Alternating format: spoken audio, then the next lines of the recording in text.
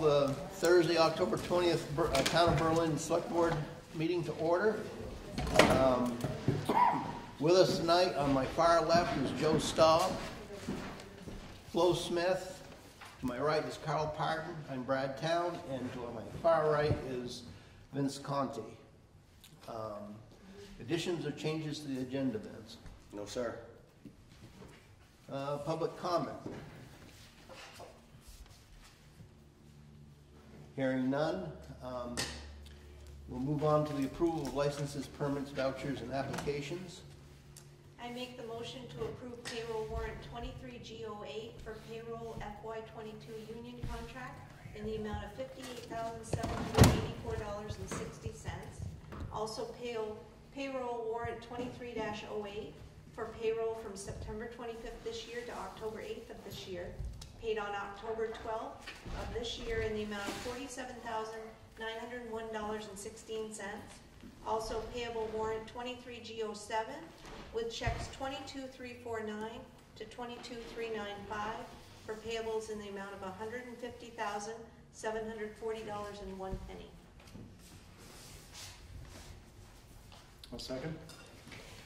Any discussion? Hearing none, those in favor? Aye.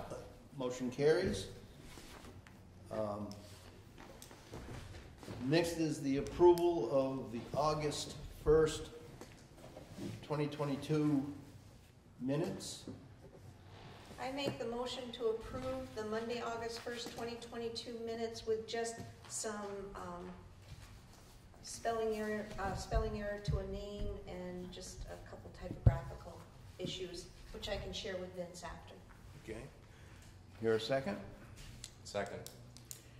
Any discussion? All those in favor? Aye. Motion carries. Um, Minutes for August 15th, 2022. I make a motion to approve the Monday, August fifteenth, twenty twenty-two minutes, and again, just, um, not any, uh, spelling errors or anything of that nature, but just some, uh, issues, and they're small, and they can be easily corrected. Motion, I mean, a second. Second. Any discussion? All those in favor? Aye.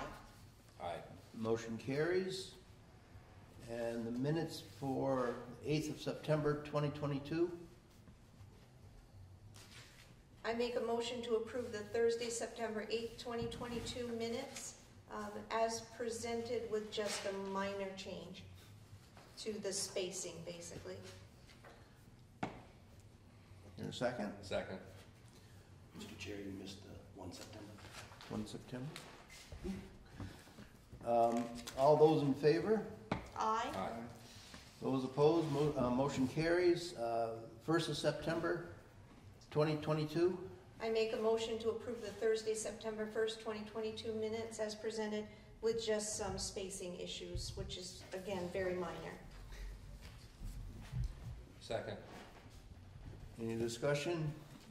All those in favor? Aye. Motion carries. Um, The minutes from uh, September 19th, 2022. I make a motion to approve the Monday, September nineteenth, twenty twenty-two minutes as presented with just some very minor changes. Here a second. Second.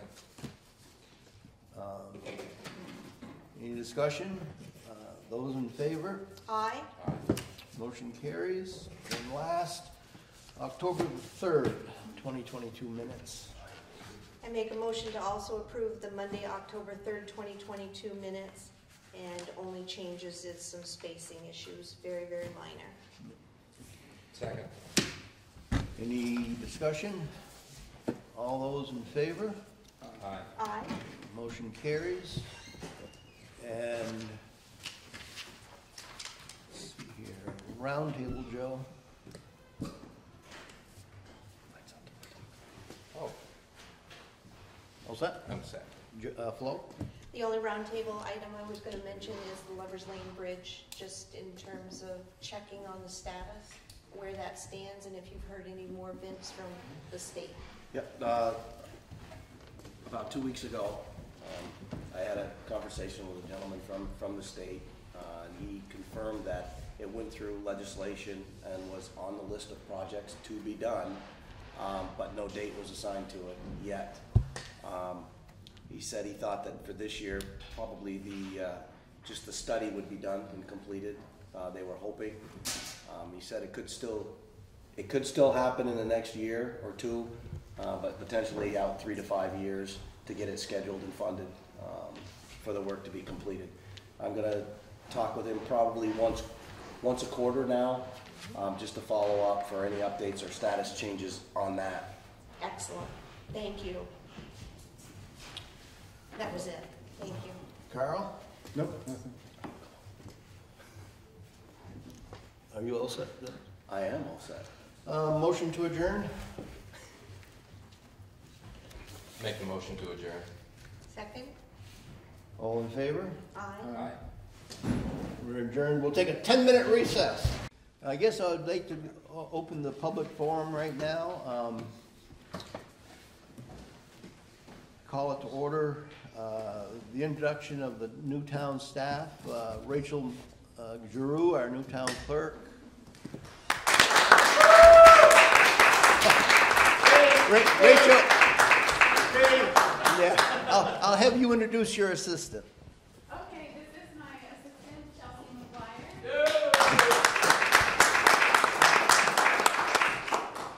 And also with us tonight is uh, Callie Streeter, the uh, ass- uh, Assistant Treasurer. Yeah,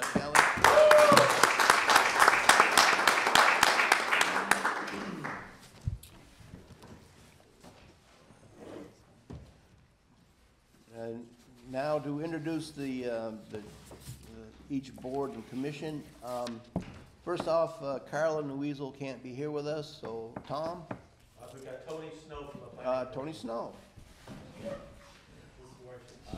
Well, just take and stand up and uh, give the list of membership and uh, a little bit what you do. Tony Stone, part of the uh, Planning Commission. Um, The other members of the Planning Commission are Carla, as we mentioned, who could make it tonight, Polly McMurray.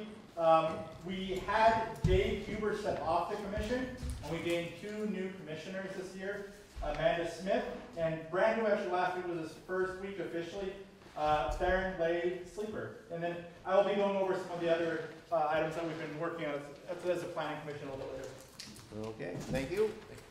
Um, The DRB, Bob? Yeah, um, my name's Robert Warnick, um, I'm Chair of the DRB. Uh, we have, um, some of the same members of the DRB, um, uh, Carlin Weasel is our Vice Chair. Um, uh, Polly McMurphy is also on the, uh, uh, Development Review Board. Uh, we have, uh, John Feverich, uh, and Tor Nelson, uh, who's actually an alternate. uh, which is one of the pitches I want to make, is uh, we do need, we have one vacancy, and we would like another alternate. So anybody so inclined, the DRB could use some help um, with its membership. Uh, I've been on the DRB for 21 years now. Well, you can explain what the DRB is. Development Review Board, our, our, our goal is, um, our, our primary purpose is to enforce the regulations of the town of Berlin, the, the regulations meaning the, the land use regulations. Um, I look at it more that our goal is really not to enforce regulations, our goal is to help developers achieve their goals, uh, within the standards that has been set by the town. So, um, uh, we look to make it easier for them to get there as opposed to harder. So. We have typically not a large agenda, but uh, every once in a while we'll have a major application come in that will take four or five meetings. Anybody has questions about that? I'll be glad to answer later on. Um, Public Works, Rob Allen? Yes, I'm Rob Allen, I'm the chairman of the Public Works Board. Uh, We're a five-member board, of which we only have four members, Bob, so I also am soliciting for another member to our board. Uh, The other members are uh, Ted Long, uh, Tor Nelson is a member on our board, and uh, Bob Mungin. Those are, so there's four of us on the board right now. Uh, And we have a part-time assistant from, from uh, Tom Badowski, very part-time really, but he's the guy that does the uh, day-to-day stuff for us. He, he's on the phone, he's making contact with vendors, he's working with uh, uh, consulting engineers, you know, he's, he's the guy in the office every day that gets our work done for us. So I, I'm gonna probably call on uh, Tom quite a bit later, because I, I see the agenda is fairly heavy with Public Works projects, so. Um, Just a little bit about Public Works in Berlin. Public Works is water and sewer in Berlin. Um, We have a fairly new water system that's uh, up on uh, the Dodge Farm. It has a $425,000, dollar- uh, 425,000 gallon uh, concrete tank. There's four wells up there that fill the tank. Uh, The distribution line comes into, uh, comes down Airport Road into the uh, Industrial Avenue and Granger Road area, and that's where the network begins to service uh, commercial properties and a few residents up on the hill. Um, So the, right now, the, the water really just services up on the hill. Our sewer system uh, is a collection system. Uh, It's up on the hill where the water system is, up around, you know, the hospital and the mall and over by uh, uh, Comfort Inn and that whole area. A few residents. Uh, Out Airport Road is also where the, where the sewer system goes, and we, we have a few pump stations. Uh, We've worked hard to eliminate pump stations, but there still is a couple, a pumps, a major pump station there to, uh, and then all of our sewer on the hill goes down a steep pipe down, down to, uh, down in the valley to Route 302 area where we, we have more collection system down there along the Route 3, 302 corridor that collects from commercial properties mostly, but we have some lines that go up a few of the town roads that collect residential areas. And then all of the, the wastewater goes to a, a pump station down uh, near Autos, is it AutoZone anyway, across from Pizza Hut. From there, it's pumped down about a mile. It's pumped to uh, the Montpelier collection system and a manhole down, down towards Montpelier. Um, and from there, it goes to Montpelier collection. So uh, Berlin does not have any wastewater treatment facility. It's, it's all collection and transfer, and it all goes down into Montpelier for treatment. Uh, and that's it for me. Thank you. Thank you, Rob. See, here. Conservation Commission, uh, Tom Willard. I'm Tom Willard, I'm a member of the Conservation Commission. Um, I guess Wendy isn't here. Um, Members of the Conservation Commission are Wendy Bowles, she's our chair, Phil Gentili, uh, Ellen Sulick, and Sister Lauren. Now, forget what you just heard from Rob and Bob. Uh, We're recruiting too. We we do fun stuff. You know, Those guys are more like work. Uh, Some of the stuff that we have done and, uh, and, uh, and are presently doing, well, first of all, conservation commissions are created by state statute. We're a statutory party before all Act 250 uh, um, applications. Um, We uh, do more fun stuff, though. Uh, The statute requires, or gives us authority to inventory all the natural resources in town uh, and protect those natural resources. Um, And what we've been doing, and what we've done in the past, we've purchased uh, six acres, I think, um, to protect natural resources, five of which are up the ridge line up behind Berlin Pond. It was originally, um, years ago, there was a high-end development, uh, I think it was 18 homes proposed up there. Kind of energized us, was quite a while ago. And so we have purchased and put uh, uh, construction easements on the land up there to protect it. And if you haven't been up there, Darling Trail and then the Bass Trail, um, it goes across the top and down. You really ought to do it. It's just a wonderful uh, resource in town. Um, we work with uh, VAST and uh, the Mountain Bike uh, Association to uh, maintain and properly locate to protect natural resources, those trails uh, on the mountain. Um, We produced a really nice report, I think it's on the webpage, really fun report, it is. Uh, We got together a bunch of uh, ecologists and biologists and produced the report on Berlin Pond, which is, uh, I, I just find it a fascinating report. Read that if you get a chance after you join. Um, We, we, we started, a- we've been talking a lot about a speakers program where we can get, oh, Roger Hill to talk about climate change and, uh, Jim Andrews, we had up here once to talk about amphibians, and he took us on a tour, and we looked for all kinds of amphibians under logs and that kind of stuff. That was fun. So we're, we're talking about sort of energizing that kind of a speaker bureau from a natural resources uh, focus. Presently, at the present time, we're working on planting some additional chestnuts up on Irish Hill. We're working with the Department of Forest Parks and Recreation. Uh, we planted about four or five years ago, and they all died but one, and that one now is about an eight or ten inch diameter chestnut. So we're talking about planting more up there. Uh, we're making a trip up this fall with Forest and Parks, and then perhaps uh, planting hopefully in the spring. Um, We've done a lot of invasive uh, species removal, um, buckthorn and those kinds of things that uh, don't serve our natural resources real well. And, uh, let's see. So anyway, so I guess that's my pitch. We had a lot of fun. At one time, the Berlin Conservation Commission was designated the State of Vermont Conservation Commission of the Year back when we were doing a lot of our land work. So that was kind of, uh, kind of uh, heartening, so.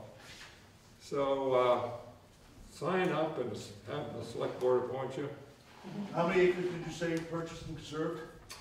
Uh, it's about eight hundred, I don't know the exact number, but, uh, and also the Dog River, by the way, has a absolutely gorgeous, uh, uh, piece of land. It's where the, if anybody knows where the jacuzzi is, kind of a historic swimming hole.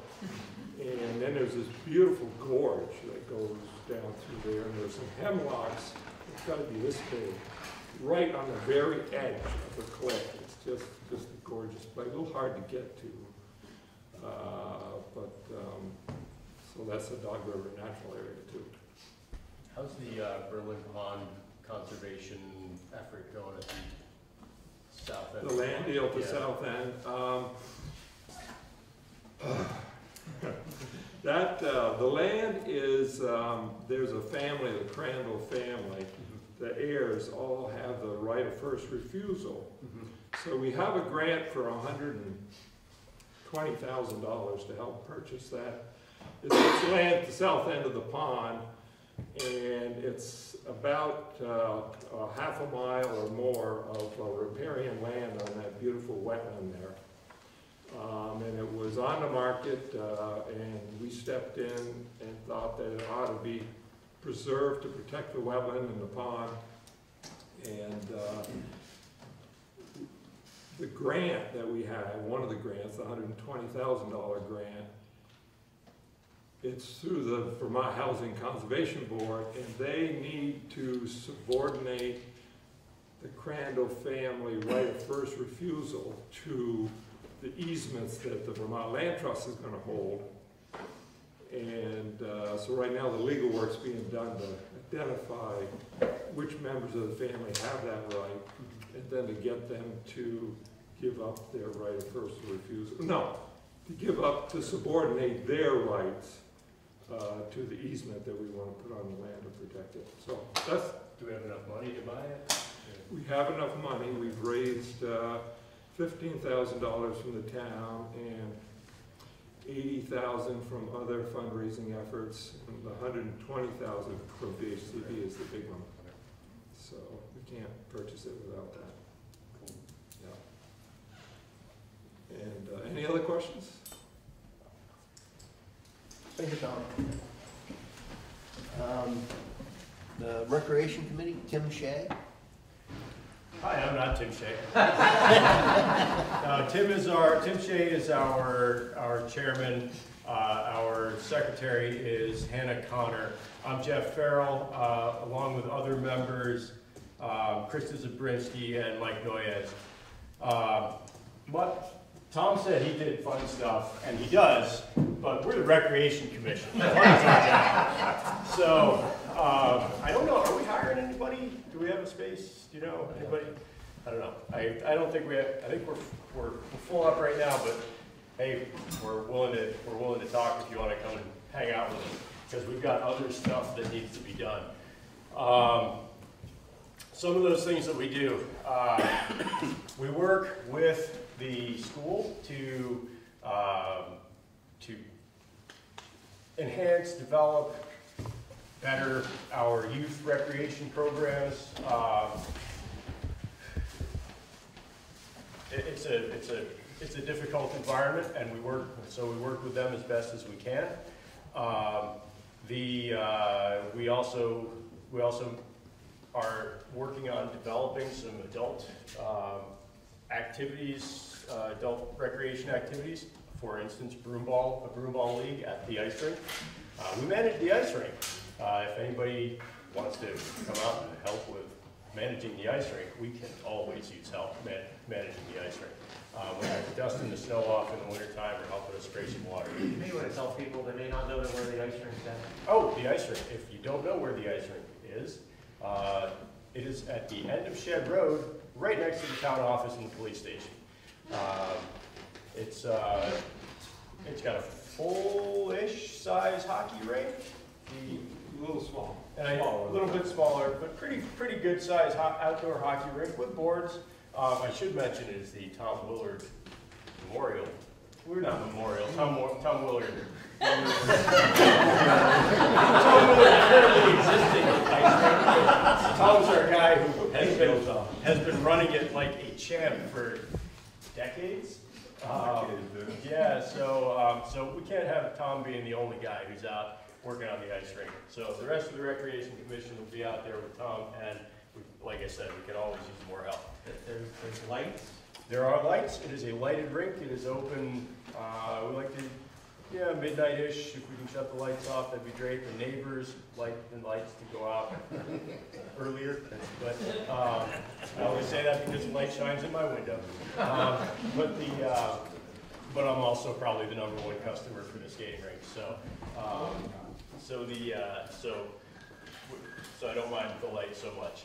Um, Beyond that, um, we collaborate with the Conservation Commission uh, to make sure that we are, that the users of the trails and the public lands are being responsible and respectful of our public lands, and that we are, um, and that we're maintaining good usage of those public lands in recreational acti- recreational activities. We collaborate with the Montpelier Area Mountain Bike Association. Um, So far, the Conservation Commission has mostly done the VAST interactions, but we're there if they need any assistance with those kind of things. Um, we got a new scoreboard up at the Berlin Elementary School. Come on and check it out. It is uh, mainly a baseball scoreboard, but it's set up so that we can use it for soccer too, uh, or any other thing that might be happening over there. Um, let's see, new scoreboard, youth programs, adult programs, um, working with the Conservation Commission. Uh, I will be working with the Planning Commission to help us figure out some things that we can do with our expansions, of expansions of trails and um, multi-use paths around the community and how we can best use those and make sure the community is getting what they want out of, out of those things. Um, And uh, we are here to represent you as a community uh, in the field of recreation for all of our community members, whether they are this big or this big, uh, we want everybody to be able to have some enjoyment of our space here in the town of Berlin. Emergency management, chief? Or Bruce?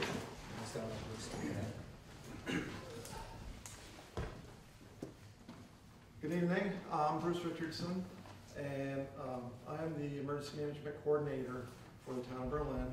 Uh, The Emergency Management um, Committee or or team uh, of Berlin is not like a lot of these other uh, boards and committees. We're just a group of volunteers who uh, are there to help support the uh, first responders of the town in the event uh, there's a very large incident or disaster, uh, that kind of thing. You know, think Hurricane Irene, think Superstorm Sandy, those are the kinds of things that we would normally be involved with. But also things like um, flooding that can happen with uh, bad thunderstorms or uh, ice jams on like the Stevens Branch or the Winooski. Um, Things where we can rapidly spiral out of control and uh, the incident commanders, excuse me, uh, could need some help. Um, Now, the emergency management director uh, is a state mandated position, it's in state statute. That is uh, Chief Pomerant, our uh, current EMD. He can have uh, support staff, including EMC, who helps just run the normal uh, administrative side of things. And then we have a fairly small but good staff. Um, Besides the chief, myself, we have Val Seer, He's been on the team for, seems, uh, for a while anyway. Uh, Tor Nelson, a name you've heard quite a bit. He was uh, our first uh, EMD for the town uh, way back in uh, 2007. Um, We also have a number of members who may or may not be uh, as active with the, uh, the team as they had been in the past, but are still available when we had uh, potential activation for a uh, need for a shelter. We had several people show up, Corinne, um, and some other uh, former members uh, showed up to help us if we had to open up a shelter. Um, So that, uh, that helps us out a lot. And we have liaisons with uh, other organizations that do uh, disaster-related stuff, like the American Red Cross, the uh, Central Vermont Disaster Animal Response Team, uh, and also uh, we have a liaison from the Central Vermont Medical Center, because they have their own whole uh, emergency management uh, set up there at the hospital, and we've done some drills with them, and uh, what, it's good to know how, they have plans. a lot of uh, like decontamination um, for uh, bad, bad kind of things that they practice for. Um, That's basically it. Um, I guess I can't compete with the recreation, um, conservation department- departments for, for recruiting, but we're always looking for people. Uh, It's not a huge investment of time. We meet once a month. And uh, there's a little bit of training involved, but a lot of it can be done online. So, uh, again, uh, we're there to help and, oh, and also send out Vermont Alert messages. I know how many of you have heard of, heard of Vermont Alert, signed up for it. But we, the team can send out messages to the whole town in the event of an emergency or uh, need to get out information in a quick manner. So highly endorse Vermont Alert, and if you're not signed up for it, I suggest you, you do, because it is a way we get information to you very quickly, by whatever method you prefer to get it by. I would only like to add that uh, I haven't been on the team for very long, so I would really rely on the experience of the team members that have been around for a long time. Um, I do have frequent contact with the state on that end of emergency management, and I've heard back that the emergency management plan that the team has to do regularly was one of the best they had seen. So that speaks highly of their work and their dedication and their professionalism to that particular subject. Um, it's probably not widely known, but Berlin houses a lot of critical infrastructure. So in addition to any random act of nature that can happen anywhere, anytime, We have the train station, we have the power station down the road, which would be a nightmare if something happened down there. Um, We have the hospital, we have assisted living homes, so we had an incident not that long ago where there was a propane leak at the nursing home. And we had to figure out where are we gonna put all these people, because bad weather was coming that way. So, um, things do happen, and that really shows the need for this team and for people to actively participate in their team. That's my pitch. Um, I'd like to open the fl- uh, the floor to, uh, to- for discussion on the, uh, on town vision. Um, The planning commission was going to speak to this. I'll speak to it. Um, so Tony Sullivan from the Planning Commission. Um, I just want to talk a little bit about the things that we've been working on uh, towards the, the town vision and some of the projects we've been working on as a planning commission, and, and we're really looking forward to uh, public participation in. it. Um, um, most of you probably know about the new town center. Uh, we officially received town center designation. I believe we're only the third uh, town center designation uh, in the history of the, the state's program. Uh, and also, very recently, we just approved a new name for the town center. Uh, so if you're, you're not aware yet, the town center is going to be called the Berlin Common, uh, with the street officially named as well, entering into the town center called Gateway Avenue, uh, Gateway Avenue. Um, we've also been working uh, closely with the school um, uh, for a land transfer. Uh, we had a vote in March um, that we were able to put together a media campaign uh, with the school and with uh, residents and uh, as well as members of the board, the planning commission, um, to promote the uh, town center as well as the land transfer. The vote was approved by all five towns in the school district. Um, and, and just recently, uh, Tom informed me that they were able to work with the school board to get language approved to officially have that transfer take place very soon here. So the property that is um, near the, the current Berlin Mall, um, just behind the school uh, that we were looking to transfer, I think it's, is 3.8 acres, will officially come into our possession. And that was a huge, um, uh, uh, that was a huge thing for us to happen because it's going to allow us to make the new uh, road into the town center, into Berlin Common, a lot more safe for the residents that are going to be housed there, as well as for traffic that we expect to be coming through that area. Um, we've also been working with the community on a community rec path. You've heard this mentioned before. And that's one of the great things about, I'm noticing about our towns, there's a lot of overlap between the different committees and commissions that we have. Um, so we have the, the rec path currently in discussion.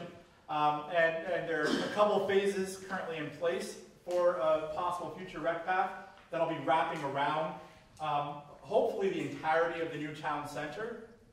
Uh, we've also recently been approved for our neighborhood development area. And Tom, can you explain a little bit more about what the neighborhood development area does for us? It includes the new town, it includes the new town center and a quarter mile radius around it. And what it uh, does, it uh, affords developers, uh, particularly those developing housing, for uh, credits from the state of Vermont uh, to help defer some of the the costs. It alleviates some Act 250 requirements. Um, And uh, it also uh, uh, allows the development of a, of a tax incremental financing district. It's a, it's a way to, to uh, uh, pay for future infrastructures in, in these, in these places. And I just want to say, I, so I um, came onto the commission after learning a lot about the new town center. It's something that, something that I'm personally very excited about. Uh, as a former uh, uh, community planner and transportation planner, um, it was something I'm really looking forward to um, uh, helping to influence the change that's going to be occurring in our community. Um, in the future, if, if all is able to work out with the new town center, we're going to be able to provide quite a bit of new housing, uh, invite new residents into our community. We're going to be able to bolster the, the funding for the local uh, uh, school district, um, as well as um, have a lot more, uh, uh, hopefully, kids running through our community as well. So something I'm really, really excited about, as, as well as adding those new recreation pieces as well. Um, and in thinking about this, uh, one more piece that I wanted to touch on was our community was uh, recently just approved by the Vermont Council on Rural Development uh, to be included in their community visit program. Uh, and this is something that I'm really excited about. Uh, we, they are going to be um, doing all the legwork and uh, uh, uh, providing a community organizing effort for us to have, we're going to, as a commission, help fund some community meals, and it's going to be an opportunity for people to come together. I, I'm under the impression it'll take place in different areas around Berlin to, to include as many residents as possible. And uh, the goal is to have a lot more residents participating in what future projects might look like in the town of Berlin, as well as uh, priority projects as well for us to, to take on moving forward. And I think this happening in conjunction with the, the new town center is, is going to be huge for building and continuing to build identity for the town of Berlin. Thank you.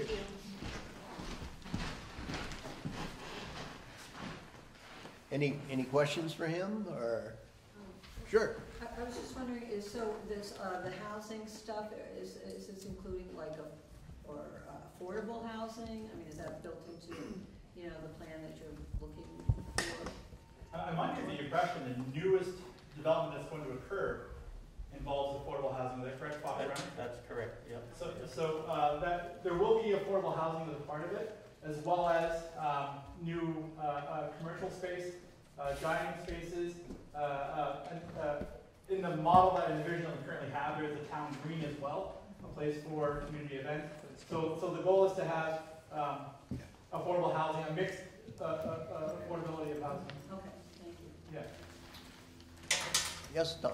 I, I just have one quick comment, that is, I don't want this, well, first of all, I want to thank the select board for hosting this, it's pretty nice.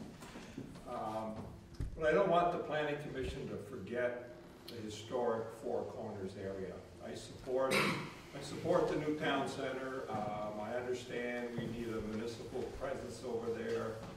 Um, But, um, I think maybe in terms of a town vision, we can spend a little more time thinking about protecting what we already have, which is uh, the historic, uh, I know the historic preservation has gone around a lot of the homes, from Louis Plude's Queen Anne's Porch. uh, There are a lot of really nice things, like we've got the church, we've got, and it's right next to some pretty useful commercial properties as well. So I haven't seen a lot of really, a lot of work to make sure that we protect this part town. For everything from sidewalks to trails, I know by the culverts, I hold my breath every time I see somebody with a baby carriage going across there with no shoulders and the cars are going, you know.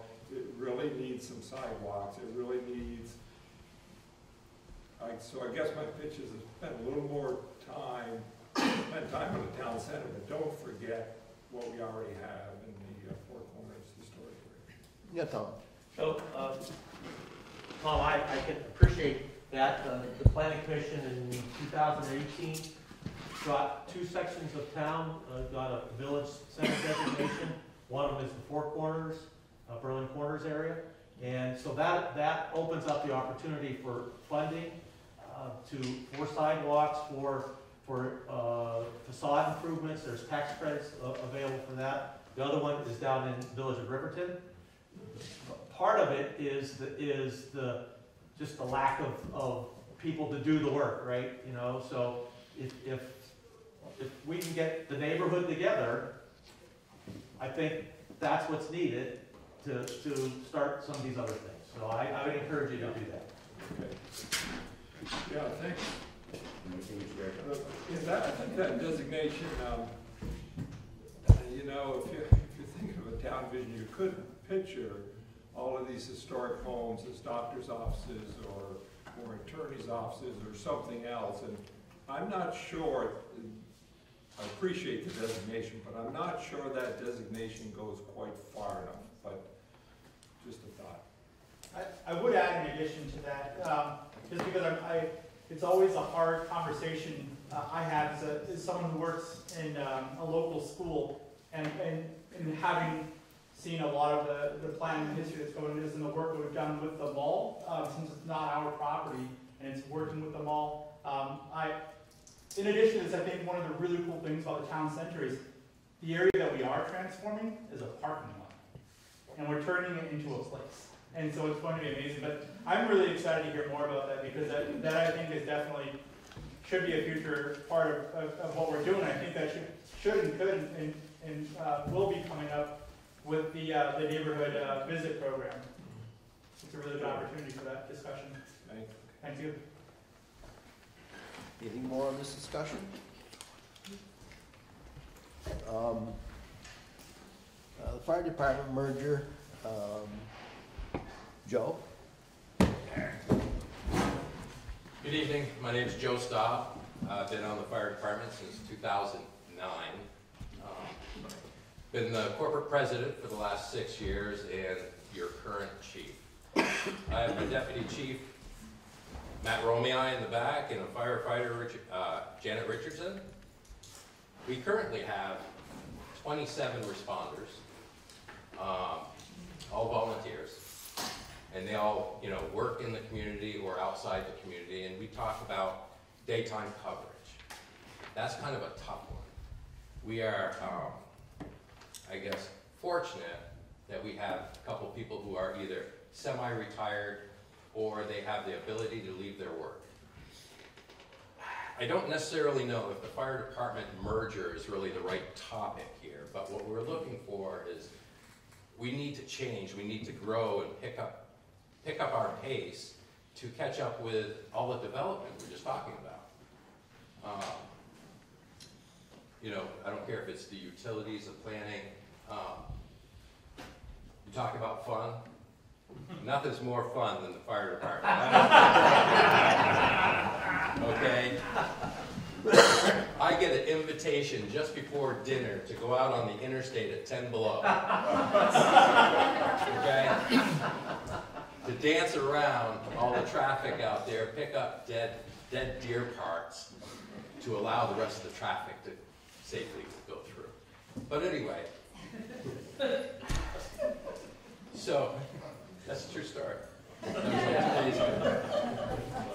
Um, Two dead deer, three down cars, and the tra, and the interstate down to a one lane. Anyway, um, we're in a kind of an interesting position right now where we have a number of Norwich students. So we, we have about six or eight people coming from Norwich, and they are wired We also have a number of them in classes taking uh, their Fire One certification, 230 some odd hours, volunteer hours, mind you. The same certification as your paid department in Montpelier or Barrington. Okay, just to let you know. They're getting paid to do it. EMS. We have, we have seven that are either EMS or above. And we have another 13 that are just a lower level cert. You know, this, this is, this is new for the town of Berlin. But still, we're volunteers. That's, it's really tough. And, yeah, I think the commission, anybody who- who's dealing with volunteers can really, you know, understand that. What is the town looking for? What do they need? I can tell you in the last six months, we had three structure fires in West Berlin. Your volunteer fire department, we can have a truck on the road somewhere around thirteen to fifteen minutes on the road. We're not there yet. Are we good with that? Should we be good with that? All the development happening here up on the hill, I should say, is, you know, all that commercial. They need, they, you know, need us more often than the residents. They do. In fact, all those car accidents up on the interstate, people who are not even town residents use us more than the commercial. You know, we are going out on, at the end of September, we have around 208 calls, fire calls. That's car accidents, alarm activations, structure fires. mutual aid calls. Four hundred and forty-four fast water calls, so that's your EMS, your medical, medical calls. These are your volunteers. I think I, uh, came up short when I didn't bring my applications. I saw, I saw all the, all the written paper, I said, oh man, I missed the opportunity. Okay, so what I'm looking at is probably no one wants to put fire gear on, but there's a lot of administrative work that happens here. So if we were talking about merging with the town, what would that look like? What that would mean to me is I would have less work administratively and able to put more focus on trainings and being, you know, equipping the, the young people coming in. That's what it would mean to me. But again, it all goes back to the residents. You know, what are you, what are you, what are you gonna be happy with? What will you, you know, are you good with fifteen minutes before you hear those trucks coming down the road? Fifteen minutes of your house on fire, you're calling your insurance company. Okay? So I'm not really sure. Matt, would you have something you wanna share? Yeah, so, um, I thought it might help, I'll, I'll help you out, I'll come over here with Joe. Sorry, get out of here. So, uh, my name's Matthew Romy, I, I'm the, Joe's number two dance partner. Um, for those that don't know kind of what we do, we have two fire stations in the town of Berlin. We have one up there at, across from Applebee's, one down here on Route twelve in Riverton. There was a nasty rumor a couple years ago that that fire station down here in Riverton, which is the old heart of the residential section of Berlin, was closed. That's not true, in case anybody thinks that. Uh, the first truck that went out the door, or that got to the scene on Chandler Road last week came out of that firehouse. Um, I was on the Berlin Fire Department back in the nineties when I was a cadet at Norwich and, uh, joined back up, uh, a couple years ago anyway? No. I'm not sure, COVID, okay? I'll blame all my dates because they're all fuzzy because of COVID. But it takes a lot to do what we do. Um, we, we currently have, uh, two fire engines, a rescue truck that also works as an engine, a ladder truck, um, a utility vehicle. All those have to be checked out, uh, routinely. We have, I don't even know how many thousands of dollars worth of air packs that mean the difference in life and death for our firefighters and for our, our town residents. Back when I got into the fire service in the nineties, um, we were just getting into this new era of construction where the fires in residences, residential structures, went from doubling every ten to fifteen minutes to doubling every two to three minutes. Because of the way houses are built, because of the way that, um, the contents of the residences are made, what we're, you know, building things out of. It's the old phrase, they don't build them like they used to. The other thing we are, um, constrained with in the town of is we have twenty-nine hundred nighttime residents. A daytime population of Twelve thousand. twelve to fifteen thousand. And so we really have a different fundamental problem than an East Montpelier or a Barre Town or Williamstown or a Northfield. We don't have a big residential community to draw from. Now, I'll tell you, he alluded to it earlier, I got something that will beat every one of these boards and commissions. I'll let you drive a fire truck. And, you know, you can drive down into Montpelier at three o'clock in the morning and run the lights and sirens like in the nineties. Um, we are at a turning point though. Honestly, we've been at a turning point. It's hard to recruit and retrain, retain volunteers. It's hard to recruit and retain full-time public safety personnel. And it's not limited to Berlin. It's not limited to the fire service, it's not limited to the EMS service, it's not limited to law enforcement. We're re, we're statewide, uh, uh, truthfully, New England-wide, in trouble, uh, with public safety. And we've got to figure this, figure this game out, because, uh, the forecast is not real rosy. Now, I don't mean to be Debbie Downer, I still let you a fire truck, and. But we've got to figure out where we're gonna go from here, because it is, it's not, it's not a bad thing that it takes us ten to fifteen minutes to get a truck out, out, of- out the door. It just is. it, it's, you know, we probably need to do better, but we can't do better in a volunteer model, um, especially with the way our, um, our area is, is working. There's also the bigger, kind of the bigger picture. We're also a de- a decon unit for the state hazmat. So we get called, we've been to Northfield, we went to Williamstown, we've been to Marshfield, been to Middlesex, and that's just in just the past couple of years. So we have folks that are trained, um, and, and can take that to those hazardous materials incidences. We're also seeing, and this goes right into Conservation and Recreation Committee land, we're gonna see Washington County double the number of recreational trails mileage in the next, before the snow melts. There are gonna be some, uh, areas of, uh, mountain biking trails, not in the town of Berlin, but in the greater Washington County area that are just going to absolutely blow the lid off of the number of available trails. Challenge is when you go up on Irish Hill and you, um, hit that rock the wrong way, come off your bike and break your shoulder, we're the ones that come and get you. So we're working now, uh, as part of a regional effort with the District Six EMS Board to coordinate efforts. Because it's not just Berlin, it's not just Middlesex and Montpelier and Waterbury. It's, this is now becoming a regional impact, if you will, uh, to public safety. Uh, we just did a backcountry in, uh, Northfield Saturday night. It was a two and a half hour effort. And that was easy. So these are labor-intensive, manpower and equipment-intensive events uh, that we, uh, that we have to, uh, that we have to deal with. So um, I know we've been talking about, and what's on the thing here is, you know, the talk about the merger with the town. Um, We're not unique in that we're not a town department. It- It's pretty common around here, to be honest with you. It's a little weird, but uh, it's pretty common. Um, We also are kind of like, well, you know, that's taking uh, Tuesday night and usually another night with a board meeting that's pulling out of our ability, look, it's boring coming to meetings, y'all.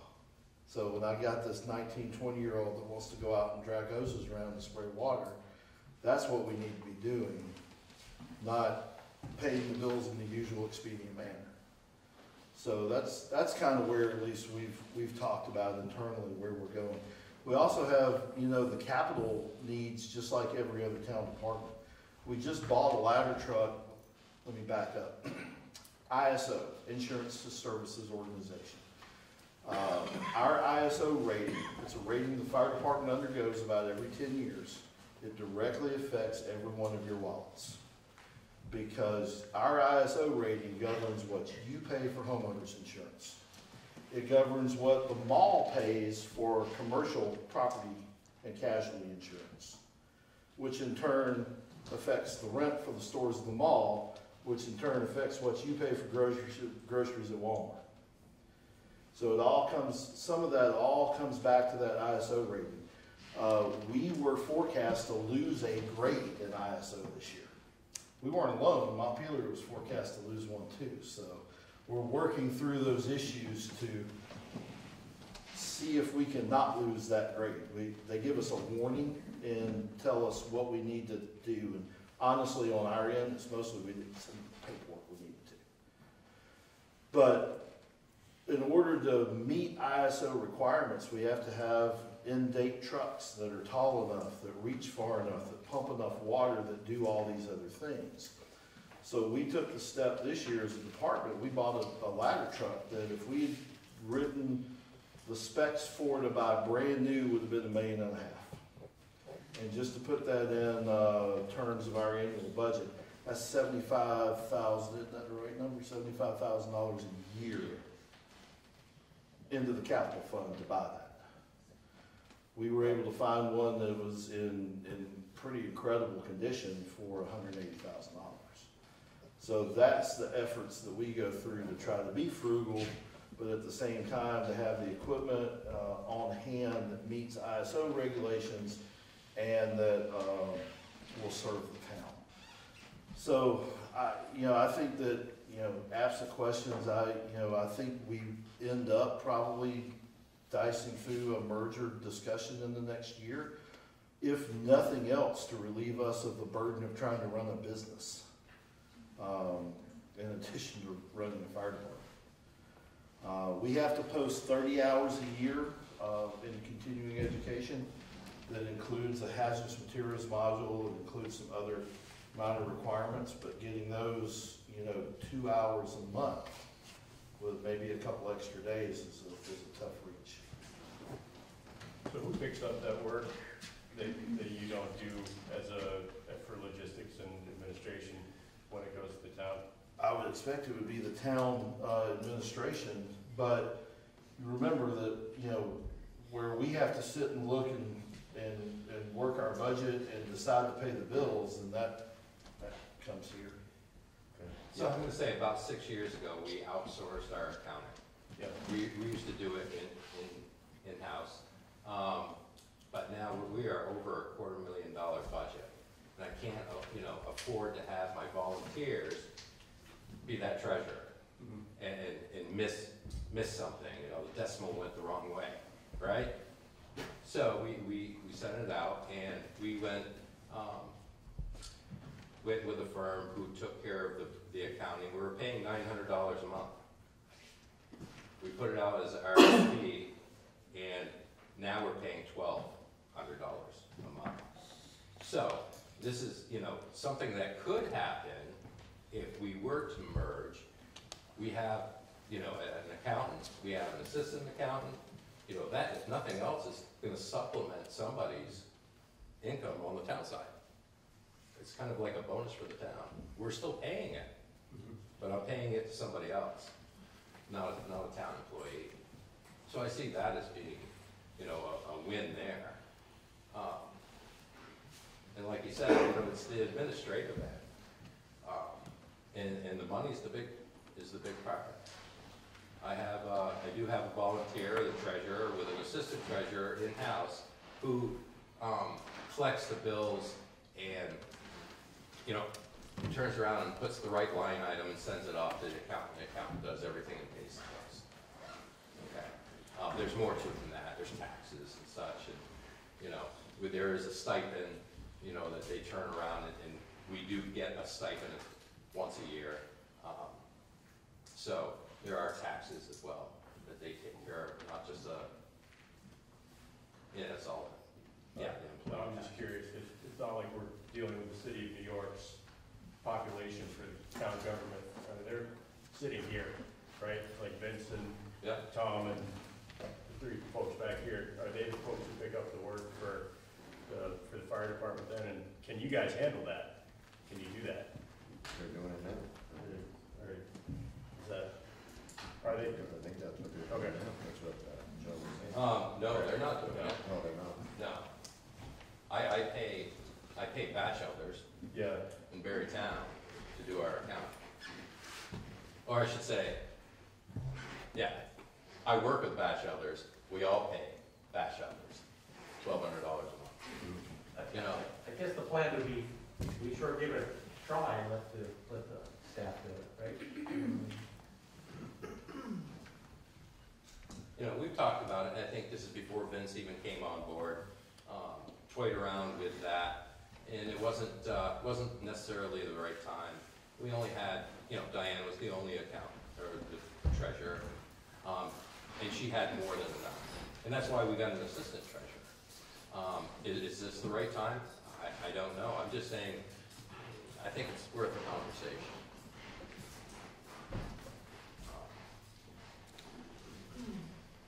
Do these new buildings, um, have impact fees that are, they're charged to help fund some of this stuff like that?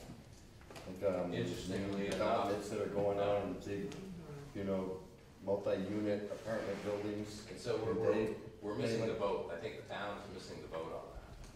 But, How do we get on the boat for that? Is that a town meeting question? I think what it adds is grand list, right? So that's how these guys get funded, a good bit of it, from the grand list. So I think, you know, if, if you have so much impact fee you have no development. So it's a, it's a, it's a fine line, right? I don't know, I, I've lived in central Vermont long enough, I remember the, the farms that were up here and the few roads that there were, when I was going to my grandmother's house. Um, This right here is the hub of central Vermont, I don't care what you put out there, they will build here. And I think they're, they're getting, I think they're getting a pretty, pretty decent ride. I think It's pretty easy. But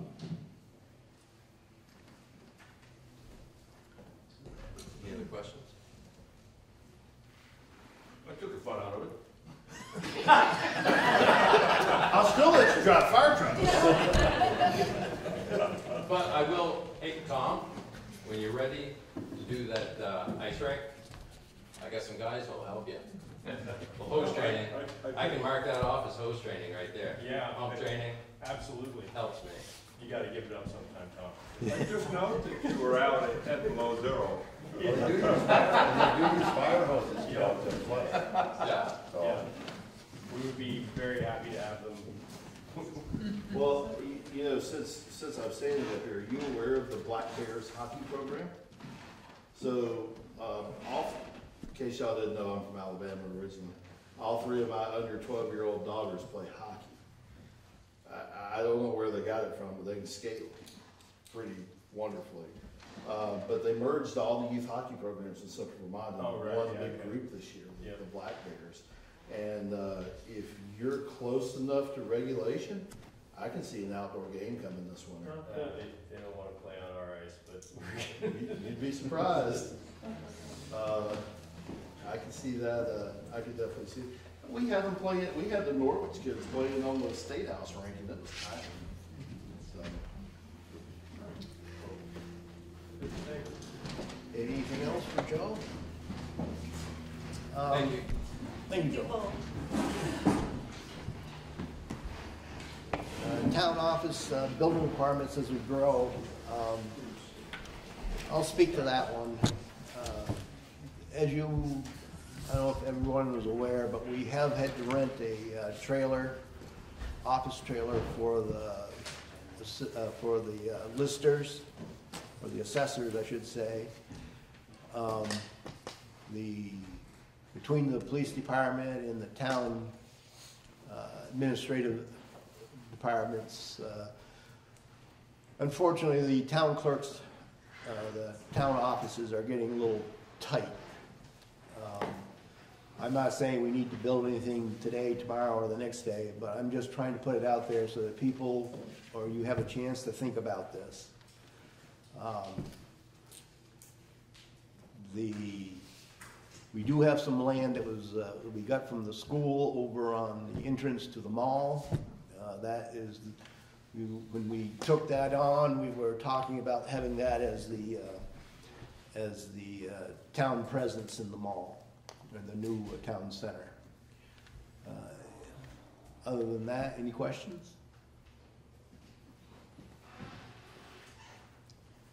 I have a. There was briefly a, a talk, I about the mall offering up property in the building for the town offices.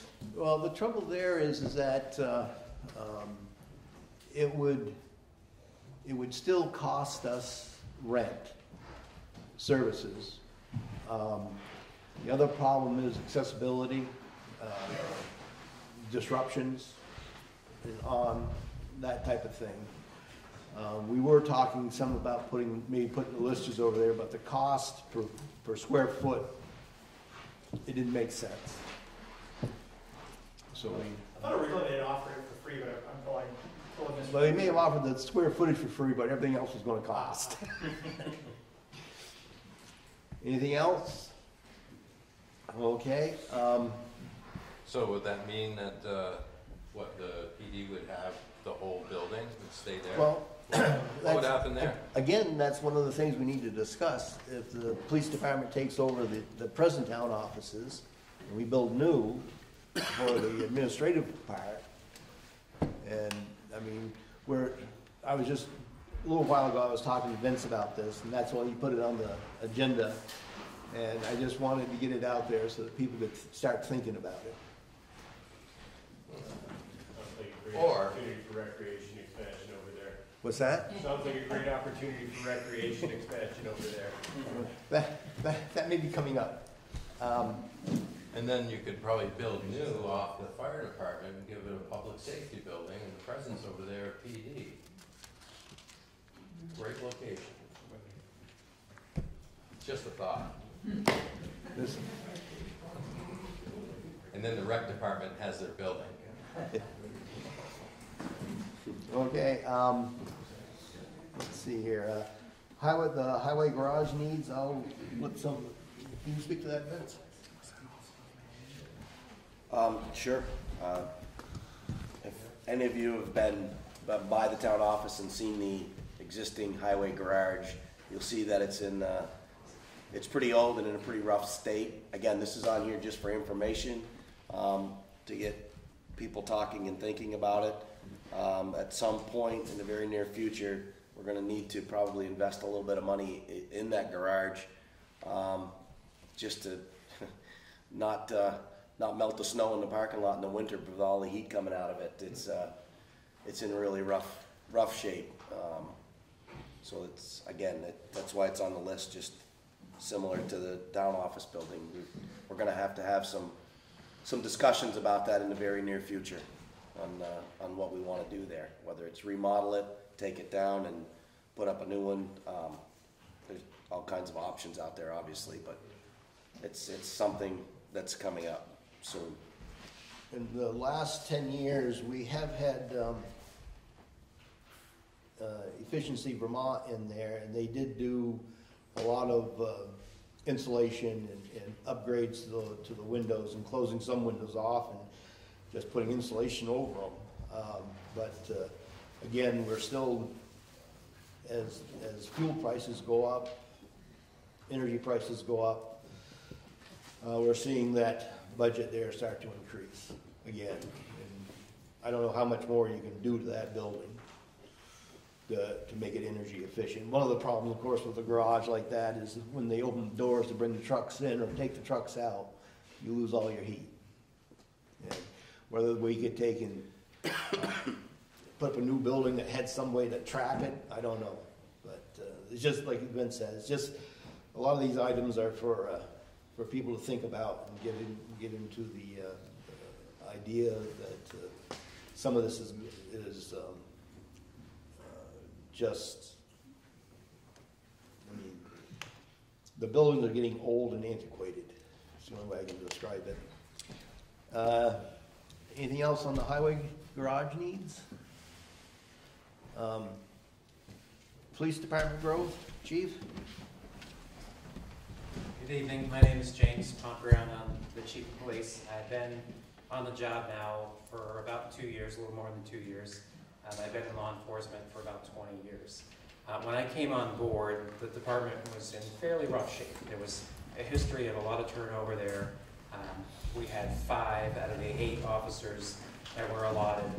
Two of them were level two certifications, and for those of you who don't, aren't familiar with the certification process, we had three levels of certification. One, basically, you're a road cone on the interstate, monitoring traffic. Level two, you have um, quite a bit more responsibility, but there's still some limitations on what types of arrests you can make and what type of authority you have. And then there's level three. Um, Two of the officers out of that five were level two. So that was a bit concerning to me, as there were a lot of restrictions on what they could do. Um, Now, it's I don't know um, if you've been monitoring the news, but in addition to everyone facing kind of labor shortages, law enforcement has faced unprecedented um, departure from the field and an inability to get people interested in getting on the job. So it's been a grind over the last two years, but we are currently, on paper at least, full staff. We have an officer who's out with an injury, and someone's at the academy. We're also, all the officers are at level three, which is good for us, um, because the state is really looking at those certifications and making sure officers um, are as highly trained as possible. Um, In addition to facing kind of a- a staffing crisis, we have faced a lot of reform over the last two or three years. Um, A lot of that's kind of internal reform on how we deal with things, um, supervision of officers and how they're trained and how we deal with complaints and transparency. That requires a lot of level, a higher level of training, but also internally, how do we track those things? Um, So we've had to make improvements to our software, to our training process and tracking that training. Um, and I'd like to say we're in really good shape, but it's, we're kind of having to grow more than we've traditionally grown over the last few years. I think we were in stasis for a long time. Um, the town's changing, there's a lot of new stressors on us between the Hilltop and the Good Samaritan on the Barre Montpelier Road, uh, which has increased our call volume significantly. Um, We're looking at growth with this uh, town square. Um, That's going to put a significant increase on our call volume as well, and we need to look forward to the future. The town is, the select board has granted me to hire an additional officer, and we were able to do that. There's no one else here in Vermont that is fully staffed, so this is like kind of ground shaking uh, ability for us to do that. And I think it speaks to the professionalism of our officers. Um, The town itself, it's really well known that the town is a good place to work. My next agenda would be to find a better facility and how we can do that, because we're starting to outgrow our facilities. It's kind of a pet peeve of mine, they're really in poor shape. If any of you ever want to come over and take a tour, I'd be more than happy to walk you through the place and introduce you to the officers. uh, But we're in dire need of a new facility for sure. Um, Both to kind of keep up with the growth, uh, but also to keep up with some of the demands that the state is putting on us. Does anybody have any questions? Yes, sir. With the new state police barracks in town, can they help you out? They, they They are absolutely no help. In fact, and I'm not trying to be disparaging at all, they're also in a staffing crisis. Um, That's created more workforce because they're designated, as opposed to when they were in Middlesex, that was always known as the Middlesex Barracks. So there was a clear differentiation between the two of us. Now, they're known as the Berlin Barracks, so there's constant confusion. People are showing up to our office, asking questions about a state police case that's being worked on. Uh, Paperwork's being sent to us, bills are being sent to us that are meant to be going down the road to the state police barracks. It's not staffed uh, regularly, the officers are out on the road, so when people go over there and they don't get an answer, they come to us. So it, it's been no help whatsoever. And, and because they're so short-staffed, very often, they're unable to assist us if we have something going on. Chief, you mentioned how the two years the department has grown and, and you gave accolades to your, your officers and stuff. I can't believe it's been already two years that you're here, but you deserve much of the credit that, that has improved this department. And I, I hope everybody understands where this department was. And- And I, I, again, I was on the team that hired you. Thank you for coming to the town. Well, thank you for having me. Any other questions? We, we were speaking in theoretics earlier of a new town office moving, mm-hmm. and the idea was thrown out of the police department using the entirety of the building. Is that something you could see as a possibility in the future, or is that something that's like, that building wasn't the location, or the building, or whatever, isn't gonna suit the needs of the future of the police department? The location is fine. Uh, We could certainly use the space that that would allow. And my concern would be the condition of the building, because it's an older building, and there's a lot of need of improvements there. Would you find, again, in, speaking in theory, if, say, town offices moved to the new town center and a police department was located there, would that make sense, or would that be more complicated, or would that be better, would it be Be worse? where being we are closer- now, or in this new location? In the new location? Um, I would prefer that we were attached or adjacent to the fire department and like a public safety building. Um, That would make the most sense. Um, It really works down in Barre City. Uh, But we'd be happy with any new space. Yeah. Is there room for expansion on the fire department? Um, I don't know how that would look. So I think interestingly enough, when the schools were re, being redistricted, um, the fire department is sitting on leased land. And, and so there was a, a select board and school board meeting on this, and, and this is back when, um, before Vince was there.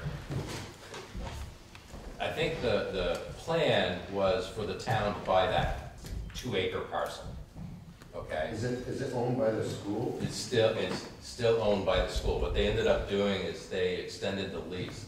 I believe it was probably a- like a fifty-year lease with an option for another fifty or something like that. Um, So they extended the lease um, to the extent they could and was happy with that. And I think that was maybe a little short-sighted on all our parts. So, could they expand on it? I think that's a discussion that has to happen now with the school. We share a lot of the same issues that the fire department shares, so they only have twenty-nine hundred residents, that might not seem a lot, but during the daytime, it goes way up there. We're dealing with car accidents and retail thefts and frauds and all this other stuff.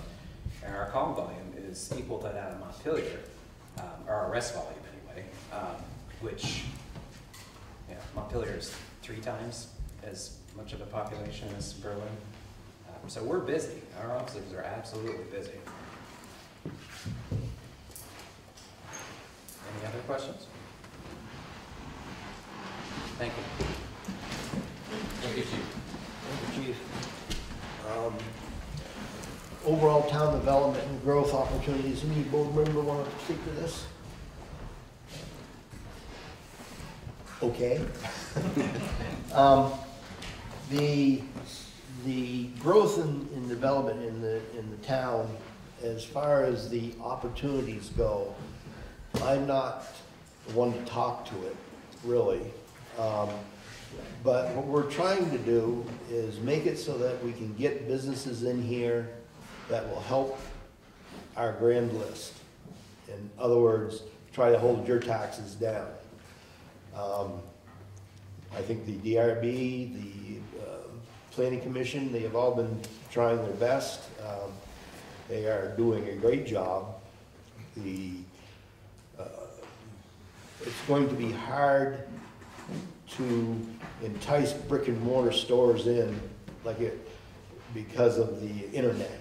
Um, The mall in their plans, the town center plan, are looking at more small boutique style shops and the new buildings. And then was on the second floor was gonna be housing. So that's the, uh, if any of you have uh, not seen the, the, the plan for the mall, get a hold of Tom or somebody on the planning commission and uh, they can help you out. They'll go through it with you. Um, Not that I want to give them more work, but uh, that is pretty much my take on the, on the requirements as far as uh, the growth opportunities here in the town. Uh, Most of the growth, we're trying to keep up here on the, either on the Barre Montpelier Road or up in the Plateau area. Um, There is, all right, there has been some talk, I don't, it's just rumor as far as I know, that about uh, some large uh, housing developments going in, but we don't know for sure. And it- they happen, we're just waiting. Any questions on this that I might be able to help you with? You got anything you want to add, Vince? Good. Yes, sir. I'm going back a few decades. But when I first moved to the town of Berlin, it seemed to me that they, um, they gave uh, incentives for these people to come in, tax incentives. And they said, well, those, at the end of like ten years, they'd be paying full taxes, and the grand list would go down. Our taxes would go down when they started paying full taxes. I don't think that ever happened. Well, one of the troubles with that is the grand list grew, but so did all the expenses. Um, Look at it as it, uh, it helped keep your taxes from going worse than they did. Um, The economic, um, not, uh, the, uh, tax abatement pro- uh, program is a five-year program. It's, it starts off that uh, they don't pay any taxes on their improvements the first year, but they still pay their property taxes. And then it's an incremental increase over the next four years to, whether on the fifth year, they're paying the, the, their full share. So it's not, it's, uh, it has worked some, um, the requirements are quite strict. Uh, Kohl's, when they, they started building, then they came to the town and refused them the, uh, the increments because they, one of the stipulations is they come to the town before construction starts. So Kohl's or the mall, right from the get-go, had to pay the full boat on that one. But uh, there's been, there hasn't been that many that really have taken advantage of it. Um, The, the uh, housing unit there by uh, Walmart, they did. And I don't know if, um, what was the name of the housing units going in? Fox Run. Fox Run, I don't know if they've come to the town yet for that or not, but we'll jump that bridge when they get there. Uh, Any other questions on this? Seems to me that we've kind of oversold the town. Mean, we're giving, you know, uh, instead of developing things that are gonna increase our grand list, we're, we're increasing our liabilities greater than, than we're doing that. And so we've got a police department that's over, you know, doesn't have enough money, fire department doesn't have enough money, the town doesn't have enough money, and we don't have the, we don't have the people to support it. It it seems like we've gotta start slowing down some of this, uh, affordable, uh, uh, housing development. Just, we just don't have enough. But I'm sure the schools are in just as bad position as we are. Fortunately, we're going to address that a little bit later on the program. Um, Any other things on this? Okay. um, uh, Connection to CMB's, uh, Central Vermont Medical Center for the water system? So, uh, the hospital, Central Vermont Medical Center, buys their water from the city of Montpelier. Um, They actually get a direct, directly piped from the water treatment plant that's down on, uh, North, uh, Paine Turnpike North. They get it directly from that water treatment plant. Um, When we built the new water system for Berlin, we have a, we have a water line that goes right down Fisher Road, right in front of the hospital. But hospital is not connected to it. Um, They would be a great customer for us if we could, they use a lot of water, obviously. Uh, And and so we've got into some very, very preliminary discussions with the hospital about buying their water from Berlin uh, rather than Montpelier. Um, We have had a consulting engineer look at our infrastructure to see if it, if we can handle it, and it appears it could, but it's, uh, be better to have some more infrastructure to, to make it work. Um, So, those discussions are gonna be ongoing for, for, throughout the winter, I think, and uh, we'll have to see where we are, where we end up. Tom, I think you can probably add some more. Yeah, I, I, I, I can, thank you, Rob. So, actually, the Central, Central Vermont Hospital approached the Public Works Board to, to, uh, inquire if they could connect to our system. It wasn't the other way around. The Public Works Board did not, did not solicit Central Vermont. And, and the reason they, uh, um, because they, they get water from Montpelier, and they, in turn, you may or may not know this, but they pump it to a three hundred thousand gallon storage tank off of Industrial Avenue. And then that, from that storage tank, that pressure is what they use in, in their facility. And because they do that, and they do some treatment in, in-house for Giardia and things like that, they are classified by the state of Vermont as a consecutive water system. And what that means is they are, they are just viewed as any public water systems. So they have to have a water operator, they have to do all, all the testing, they have to, they have to do all the reporting that we as the town of Berlin has to, or the city of Montpelier has, has to. So there, there's a cost involved in, in that, a significant cost. Um, and now their three hundred thousand gallon storage tank is at its useful life. And so now they're contemplating a, a fairly substantial capital investment to, to add to that, that tank. And, uh, so they, they approached us. Uh, Chief mentioned ISO before. When, when this water system was put in, in 2015, Berlin benefited by a half a point reduction in ISO. So everybody, everybody got a benefit from that water system being here. And, and uh, so the, the, the, hospital and the Public Works Board agreed to do a study. It's jointly funded, and th- those results have just come out, and now, now we're to the point where rubber's meeting the road and discussions are being had. I'll, I'll take any questions, any questions. Chief? Without, um, without digging real deep, because the water systems up there are, uh, complex, to say the least. Um, the hydrants that serve the mall were on that system at one time. And are you, are they talking about doing away with that storage reservoir up there? Isn't So- the mall still included there? The mall is still on there, isn't it? The, the, they're, they're talking about either replacing that storage tank, or if they would come with the town of Berlin, they'd do away with that storage. So they do away with it, but we wouldn't lose any of the, the water supply, uh, hydrant wise and No, things they like would, that. they would disconnect our water. Is that related to that next topic in there, that, that six hundred thousand gallon It is. tank? Okay, I'll come back when you get to that one. So, I think we're there.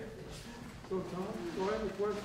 So when, when the, the hospital went with Montpelier, it's my recollection, I was on the planning commission at the time, uh, or the DRB, I forget which, the city of Montpelier put in a twelve inch line from their water filtration system to the hospital. Which is what they required, was a twelve inch line. So if that line extends up, uh, to our system, do we then become a feed system to the city of Montpelier as well? No, that, that, that, sure? that city Montpelier line would be redundant and would be taken out of service. I don't think they'll ever take it out of service. It's, a- it's redundant for the hospital. That's why I'm concerned about, because city Montpelier has a pressure problem on the other side of the city. And having our storage tank would solve that pressure problem. Is there any other questions? I, I don't want to speculate about things that. How much water does the hospital use per day? Boy, I have the numbers back in my office. It's, it's like fifty thousand gallons a day, I think, How much water does this system run at right now per day? Thirty thousand? So almost more than what is producing, right? I, I think they, I may have the numbers, they wouldn't, they wouldn't double our capacity, but, yeah. The question is on that, water system, does the water system have the, capability of keeping up twenty years from now, five years from now? We just drilled a fourth well. I know, we're talking about the fifth, I'm, I'm, I'm on Scott Hill Road, so. I know So, what's- our hydrologic studies say we do, so that's, that's, I'm gonna rely on the experts telling us that, that it is. And, um, they don't chlorinate, right? So. I'm sorry? The, excuse me, the, uh, town doesn't chlorinate the water. We do, we touch it with a little bit of chlorine. And how's that gonna help a hospital? Don't they have to do a lot more testing? They, they will, they have their, uh, for Giardi and all that, they will continue to do their systems, they will run those systems. Uh, We would oversee those systems with our, with our operator. Their, Right. their employees would do all that. So, uh, Roland doesn't have to pick up any No, testing? no, they would do all the testing. So you're saying that Otter Creek has done a study and, and these wells are adequate to support this additional draw or any Yes. additional draw? Because we're aware that there's been some issues with wells in that neighborhood. And we ourselves have noticed a decrease in the static level on our well. Well, And we, we live adjacent to Dodge Hill property. I, I can appreciate that, but piece has been in a four-year drought. So I, you know, it- it's, it's easy to point to, to a, a well system. I really think it's more what's, what's actually happening, you know, with, with our climate, so, uh, uh, I- again, I, I don't think it's the, the well system, I think just, we're in a dry spell, We'll likely come out of that dry spell, and issues, there should be no issue. Well, it just seems like an awful lot of aquifer. Again, I, I'm gonna rely on the professional hydrogeologist. Yeah. Is there a report coming out, did you see that? Yeah, we have a draft of it now, yeah. And that's Otter Creek again? Yes. Any other questions on this? Thank you. Thank you. Okay, uh, uh, now the addition of the six hundred thousand gallon fire protection storage tank. Yeah, the six, the six hundred thousand gallon storage tank would, would be up on, uh, up on the Dodge Farm. It'd be in addition to our four hundred twenty-five thousand gallon tank. Um, It's actually off Scott Hill Road. Uh, Now, the consulting engineer that worked with us on the hospital said that we, we would be, and, and looking at our additional development with the town center and all that, we, they would recommend adding more storage up there. And so we would, uh, they, they said go with six hundred thousand, six hundred thousand, uh, gallon storage tank. And it would provide the fire protection, additional fire protection, it would eliminate that current three hundred thousand gallon tank that the hospital has there in, up by Industrial Avenue. So that would be the reason to have the six hundred thousand gallon tank is to, to be, uh, to service the, uh, the, uh, development coming in with the town center and put us in a good position if the hospital should, should come on. Tom, I don't know if you have some. I think it's just for, for future growth of the, of the town. Yeah, just for future growth of the town. Just on water system being designed to, in the future, be able to do sewer lines and sewer systems where the water lines aren't gonna impact any, like, so people can get off of septic tanks and onto like a, uh, regular sewer system. Like, is Well, the you're not the water mixing- lines being designed so they aren't gonna impact any future s- sewer work that would need to be done for these buildings?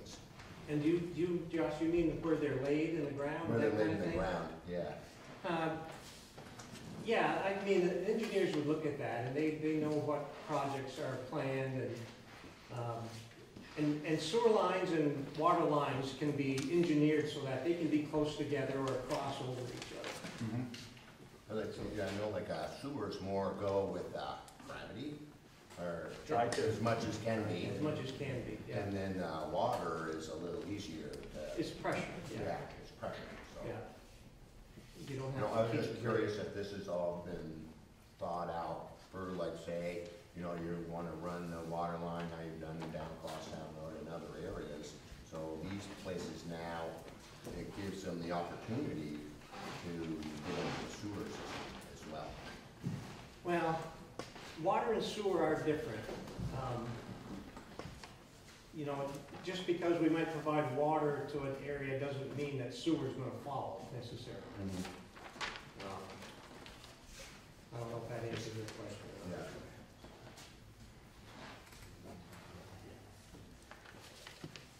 Anything else? Yeah, chief. Well, so I'm looking at the, the six hundred thousand gallon fire protection storage tank, we're talking about, uh, possible, uh, connection for the hospital and the future growth of Berlin. So, we are using that as future growth and not necessarily adding to the fire protection. Is that fair to say? Not necessarily what, again? Joe? Well, that would be the, we're, we're looking at the future growth of the town center and everything else. And then possibly, if we went into an agreement with the hospital, Yeah.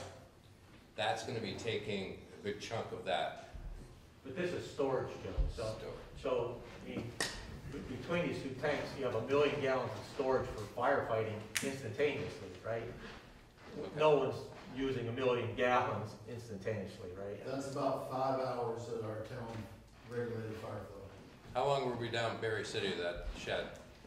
Uh, Yeah, we drafted out of the river. Right, And that's off right. of We- both of their we- hydrant systems. We're on all the hydrants, Barre City, plus drafting out of a river. How, what is the, I'm sorry, go ahead.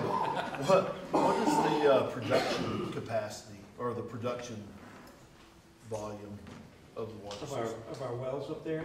How, uh, how much can you produce an hour or a minute? Um, Roughly. Almost eight hundred gallons in there. A minute? Yeah. Okay, so our fire flow by ISO requirements for the town of Berlin is thirty-five hundred gallons a minute. Um, now, we don't use that. But that's the fire flow we have to meet, and honestly, ISO is pretty happy with our water system where we have hydrants, just so you know, so it's not a negative by any means, but, um, I did the math while we were waiting, given the new, given the, if you put the six hundred thousand gallon tank in, assuming no input, which we'd have to take advantage of the input, but assuming no input, we're just under five hours at our, um, Is that with standard fire flow. Yeah, the one tank or both tanks? That's with both tanks. Both tanks. but you do have input. You, you do have input, but, uh, you know, taking into account if we had no input and you had full tanks and nobody else was drawing water off, we're just under five hours of our fire which, So are, are you saying we're under capacity now and we, I- we should desperately build the six hundred thousand gallon tank? oh, I would never turn down more water in the tank, uh, or more hydrants on the road or anything like that, but it just, it is a, a concern going forward, especially with the new development, that we Mhm. Adequately stay ahead So of that. Would, would you agree that six hundred thousand would improve the system? Oh, sure. Okay, thank Oh, you. yeah, yeah. No, I'm not saying, it- I'm not saying it's a bad thing at all. I love it. Okay. Uh, you know, can we, can we keep the old one too? You know?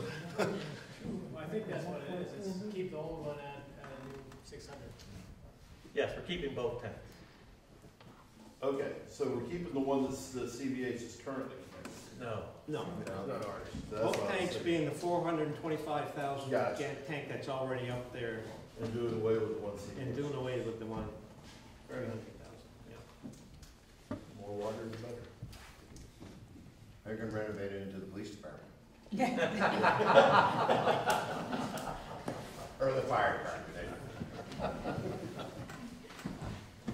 Anything else on the uh, six hundred thousand gallon tank? Completion of the Scott Hill Road water loop? Yes, uh, the water loop, I, if you remember when I, when I introduced things, that we have the water system up on, uh, the Dodge Farm, and it comes down Airport Road. It crosses, uh, you know, south of the airport, over to Airport Road, and then comes down Airport Road. Serves a few customers around the airport, and then down to Industrial Avenue and Granger Road, where it really starts to network with other pipes. But from the, from Dodge Farm to that point, it's just one line that comes down. So if there's ever a repair needed there, or if- first, if you had to shut off the water for some reason, the rest of the system is shut down. Um, So, th- a loop, we, we really need to have a loop for, for the whole system, and since it's such a long run to get, to get to where we got loops. So, the loop would be coming down Scott Hill Road down to Berlin Corner where, and connect into the water system there. So if you had a problem on Airport Road, you had to shut that off. You have this other loop that can continue to serve the community. Um, So that's, that's one of our top priorities now, and it's not, a- it, that's a long run from coming down Scott Hill Road. Tom, I don't remember the rough estimate right now, but. Dollar wise or The water line, yeah. length or dollar, dollars? What are you talking? Are you asking, what is the length of the water line No, the there was a, there was a cost. About four, four point five million. four point five million to put in that water line to, to complete that loop. So we don't have, you know, it would be almost a disaster if we had to shut down, uh, the line coming down Airport Road, so. And, and what's the length? Um, Yeah, from Dodge Farm Road Dodge there. Farm. Yeah, down, it's, it's a mile and a half. Couple miles. A Mile. What size line is that, Rob? What size? Coming down, coming down the airport, the current line? Yeah. I, you know, I'm not sure, it must be, Tom, do you know what size? Uh, of- 12 inch. Hmm? 12 inch. Twelve So it'll inch, be yeah. twelve inch down So through. it'd be another twelve inch coming down Scott Hill Road. And then that's with no taps or anything off, that's just burying a line connecting from the water system up at the tank. Yeah, and we have a few customers, if they wanted to connect, coming down Yeah, Scott. grab one, yeah. Yeah. Yeah, so that's just the one, but that, that's all, uh, separate cost to the, uh, customer, that would be a separate cost to tap into that twelve inch line. Yeah, Or are they, are they gonna put like keys and shut-offs down through at each property as they go, putting that line in for the four point whatever million? Uh, I, I can only. I don't think we have those details yet, Joss, and Yeah. I can only speak to, I can, Josh, I can only speak to the, the original line, that there was a, a campaign to solicit customers. Yep. And if you signed up, there was no connection fee, and then they would put, they would put something at your, Key, yeah, a shut-off, a curb stop. right at, curbside at your house. Yep. But if you didn't sign up, You didn't. you didn't get it, just and then, so if you wanted it in the future, you, you would have to pay for that. Yes, ma'am. So I think last week or maybe the week before, there was an issue with the line. It looked like it was at the, at the intersection maybe of Yeah, on Great Granger Jared Road. Industrial. Like, what, is, is that, like, what caused that? Is, is that, What was? you know, is that part of what you're, sounds like part of what you're talking about now? Yeah, there, there are loops there, so Yeah. nobody got, I don't think anybody got shut off with water. But there was a repair that had to be done on Granger Road. Okay. I saw the town guys working on the line, popping the cap off there right at the end of Shed Road a couple of days ago. Does the town, do the town guys work on the water line? No, we have a third party. Do you have a third party for Yeah. maintenance for that? Yeah, 'cause I saw them popping like the cap off the shut off right Yeah. there, or whatever. maybe. I'm not sure what he was doing, Josh. Yeah, yeah, I was just, yeah, I was They, curious. they have a program of exercising the valves. Yep, sure, So- yep, yep, That's probably it. okay. Yeah, I, I was just curious if it was, you know, aging infrastructure or, or anything like that. I, uh, I, I, Nobody has that answer. I I doubt if it was aging infrastructure, but Hope not. no, yeah. Anything else on the uh, Scott Hill Loop? So Uh, could people have the opportunity on Scott Hill to get the curb stops put in at no charge at this point? What's that? For that, for the initial cost? yeah, yeah, we're, we're a ways from doing any Yeah. construction yet. We So don't have how a could they come up with a, where did we come up with a four point, whatever, a charge, if it's a million? If, if you know, you know, it's, it's a rough estimate, it's Yeah. not, you know, Right, because they have to. if you know how long it is, usually price per foot, you can Yeah, yeah. kind of get a rough idea what If it's. there's ledge, if there's ledge or just. Yeah, Yeah. yeah. Yep, yep, And next, uh, that seems like fun. next item is additional uh, water source well. Yeah, this is all related.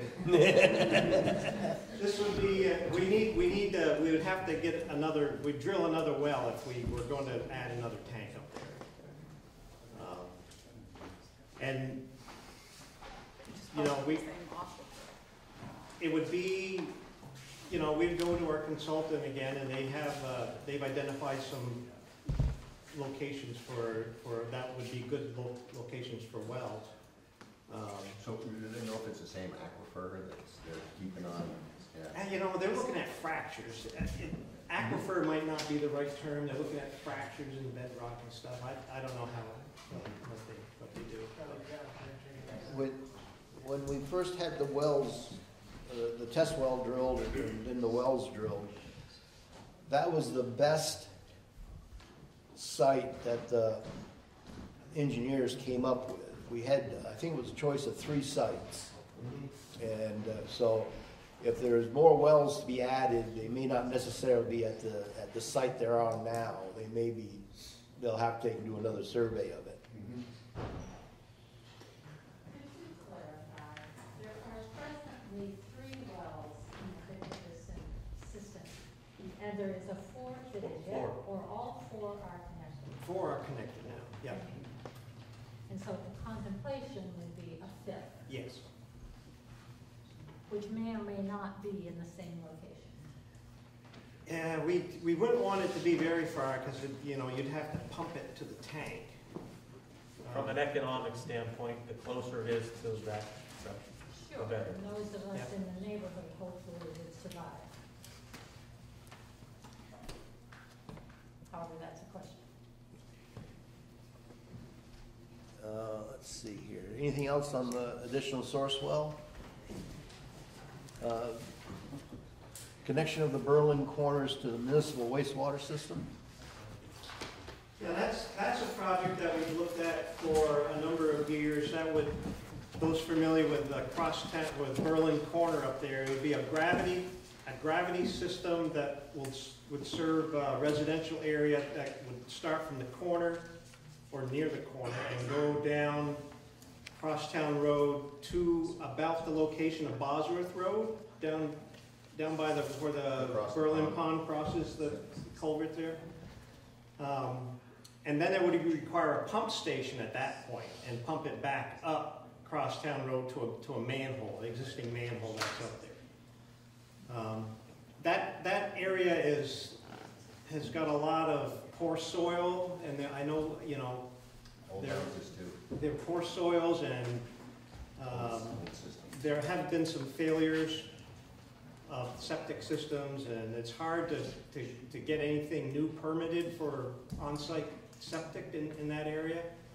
So, um, so we looked at that, and, and Tom, will you just give an update on the status of that? So, me. The Public Works Board applied for uh, uh, an an application from the state's Clean Water State Revolving Loan Fund. And, and the, the, the- and what the, what, and it's uh, Clean Water SRF. What they, their program is, uh, you, let's just say it's a hundred thousand dollars to do uh, the planning and final design of a system. This program then will uh, fund that, and then at the end of the, end of the project, they will grant you fifty percent of the dollars. So, so in effect, you're, you are, uh, in- your out-of-pocket expenses, fifty thousand dollars, a hundred thousand dollar project.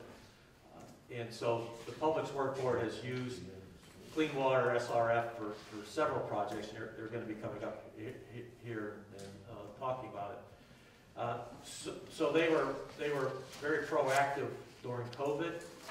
Um, there was always this, this thought that there was gonna be some federal dollars available for projects that are shovel-ready. And they're working, the Public Works Board is working on a handful of these projects now to be able to get shovel-ready. You know, a couple of our state reps here tonight, maybe they can talk more eloquently than I can about where that kind of funding is at, but, um, so, the, I, the, the plan or process is, we want to get a handful of these projects ready to go, so if somebody says there's X amount of grant dollars to do this, we want to be on, have the capability to do that.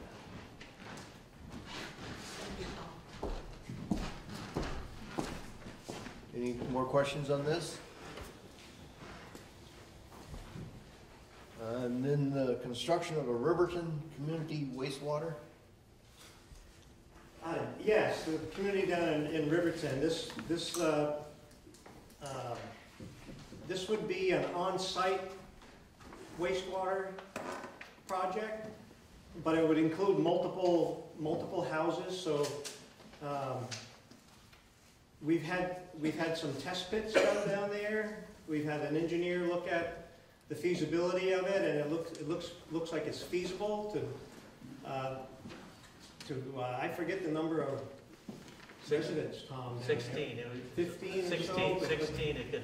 So it would be like a mini, you, we could put in a collection system, uh, for the residents, probably include a few manholes kind of thing, and to a pump station, and probably would have to use a pump station to pump it to, uh, the treatment area, which would be, you know, it's, uh, fairly large, uh. So that's just like a regular leach field, not a sewer plant, not like Right, a- right, just in ground, on-site Yep. treatment, yep. Yep. It's, it's your house septic system Yep, on this- steroids. Yeah. Yes, exactly. Just a Yep. large system, and that's under the same, uh, Clean Water Fund, right, Tom? That's Correct. kind of in the same boat with the Crosstown project. That project there, uh, if you, if you were, how expandable is that going to be? There's gonna be more than fifteen residents down through there, or it's only fif- fifteen or sixteen that are having trouble? So, uh, I think the thought process, Brad, is that existing homes wouldn't connect to it, because they have, but what it would allow, because the, when the town went through new zoning three or four years ago, they allowed for higher residential density down there, that the the lack of septic service would not allow that density now, but this project would allow potentially the construction of fifteen or sixteen new homes down in the Riverton area, or a, or a business, or a, you know, a- a restaurant or something like that. Okay. Any other questions on this one? What you're saying is the people who are already there and have homes would not be allowed to connect to it? As long as, I would assume as long as their sewer systems are functioning right. Fail every day. What's that? They fail every day. Well, Allow them yes, to but with I that? mean, The federal money, Rob, that's out there right now for this, it- that's out there for, um.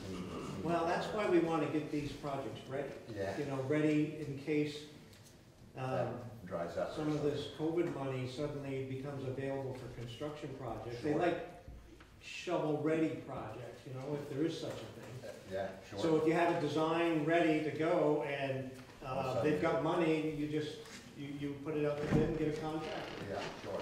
And, uh, the biggest, the biggest piece of this puzzle was, They know that people's home systems that are failing, they're getting help from the federal government. the biggest piece of this puzzle was finding a, a landmass down there that could support it. And so, well, we were fortunate to find a, a local resident that had some, some acreage down there. and They were willing to partner with the town on- on doing this. And, uh, it's, and there was some question about expandability. It can be expanded if you find a additional, uh, septic, of, of land to allow this leach field on. Applicable. Yeah. Applicable, yeah.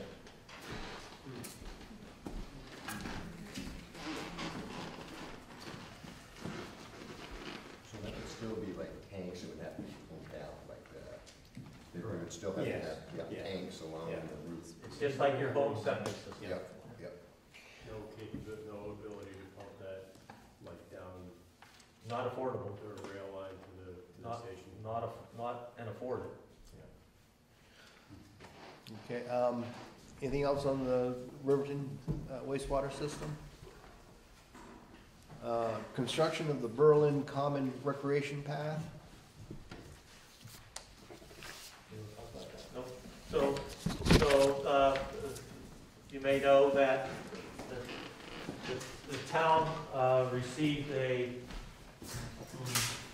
hmm, it all, uh, the project was forty thousand dollars to look at a recreation path around the new town center.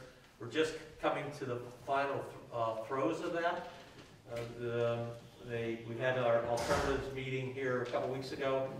Uh, So at the end of the day, and this was with V-Trans money, uh, at, at the end of the day, it's, it's gonna, um, uh, list, potential costs and things like that. It's, it's, a, it's a good bit of dollars to construct this, so really how the, the, the planning commission is, is viewing this is, is in segments, and, and I, Bob Warnick's here, he can maybe talk better than I can, but, but, uh, so a, a project like this, once you get the the initial concept done, now you have to do the engineering and design, right? And that's X amount of dollars, and, and there are V-Trans monies associated with that, so likely that the, uh, the town, through the planning commission, would apply for, for the, the- the grant funding for that. So that would then put the, uh, uh, design, engineering design of this, of this project together. And then, uh, likely then, as to do construction, you'd have to look at doing it in segments to make it affordable. And then the planning commission would look for dollars to do, uh, to do these segments. And a good bit of it hopefully could come from V-Trans. But there are other, uh, uh, recreational grants through the state, uh, and federal, uh, uh, governments that, that promote recreation. And so this is probably a multi-year project, probably four or five years at, at the, at the least, at the minimum to, before we start doing any construction and such. But it's, but, uh, I know the rec committee and the planning commission are talking about a, an enhanced bike and trail path throughout the town. And this is sort of a, a linchpin of that in, in the, in the Berlin Newtown Center there, where we hope there's gonna be a population, right? We're hoping for three to five hundred units of housing down there. Um, that they could connect to this, this trail network, so it's pretty exciting times, I, I think, for, for the town.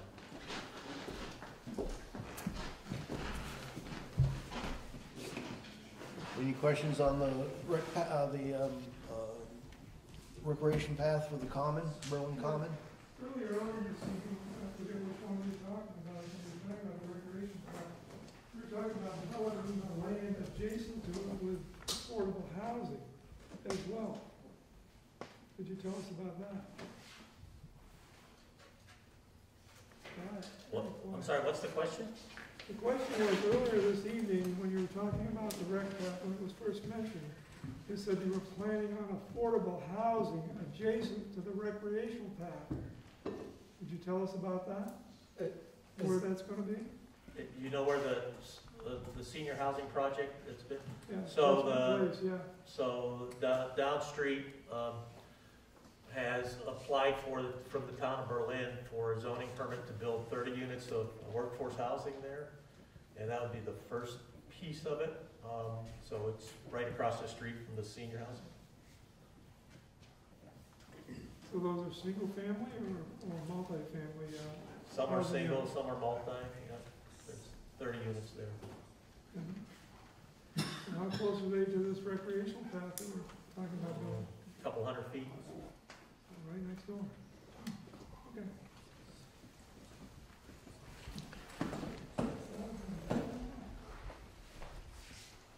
Okay, um, anything more on the rec path? Um, cons- uh, construction of the Fisher Road diet study, or completion? Bob? Um, Yeah, the, the, the- talking about Fisher Road diet study? Yes. Uh, yes, uh, we're currently conducting a, um, uh, a road diet scoping study, uh, Fisher Road. Uh, this is somewhat in connection with, uh, uh, town center concept. Um, uh, What's a road diet? It's literally a diet, you, you're losing lanes. The object is to improve safety, uh, make roads more pedestrian friendly, uh, make them more bicycle friendly. So we're conducting a scoping study, I say we, uh, we retained a consultant, uh, to do that. Um, The agenda says we're gonna talk about alternative solutions, uh, but we're not there yet. In fact, uh, the timing is excellent here, on the twenty-fifth, uh, next week, we will be having an alternatives presentation meeting. Um, That is going to be available to everyone, uh, either in person or virtually, uh, using Zoom.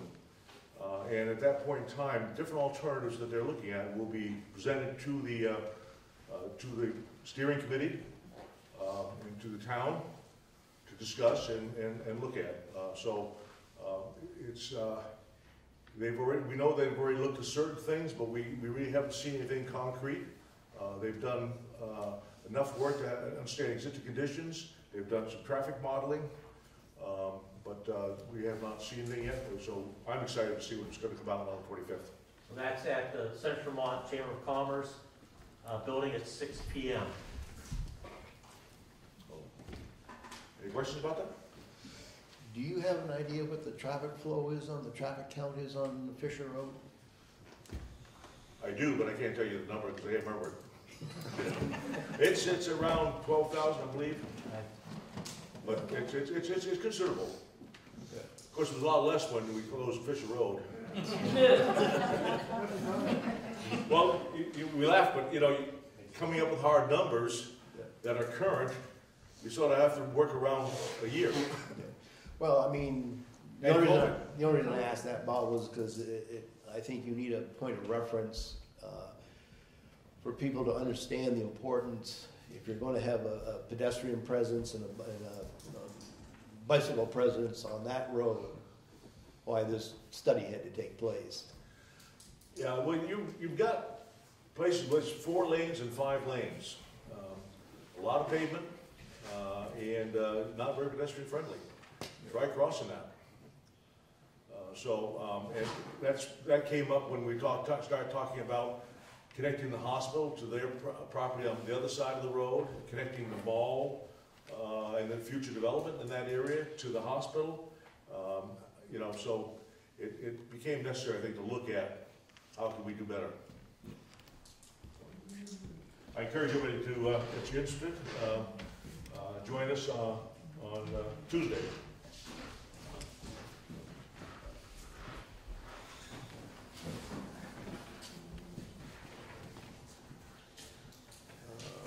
Um, Procurement of land to establish a Berlin Park, Tony? Yeah. Um, uh, recently, there was an application to the uh, Berlin Planning Commission uh, for a project that's coming to town, and the the the, the folks who are, who are are working on that project are interested in possibly working with the town of Berlin to share some of that land, uh, a good chunk of the land actually, uh, for the possibility of the establishment of uh, a town park. Um, I know that it's a real goal for many of us uh, in Berlin to, to create more recreation areas um, for, for people to utilize. I'm trying to be a little bit careful about it, to be completely honest, but it's still um, in, in the, uh, the, the planning phase and, and uh, the public portion of, of what they're hoping to do on their portion of land, so there's not a lot to share about it publicly. Any questions? Where's the land, I'm sorry? Where'd you say? I, I can't share that at the moment. All I can share, all I can share is that, is that there's a, a really amazing opportunity for the town of Berlin to uh, work with, with a, a partner um, to, to, to share a good chunk of land that can be used for the public. And that's, and for, specifically for the purposes of establishing a, a, a park and trail network, which will be really wonderful. Would that be, in, generally speaking, in the new town center? No. But in the town.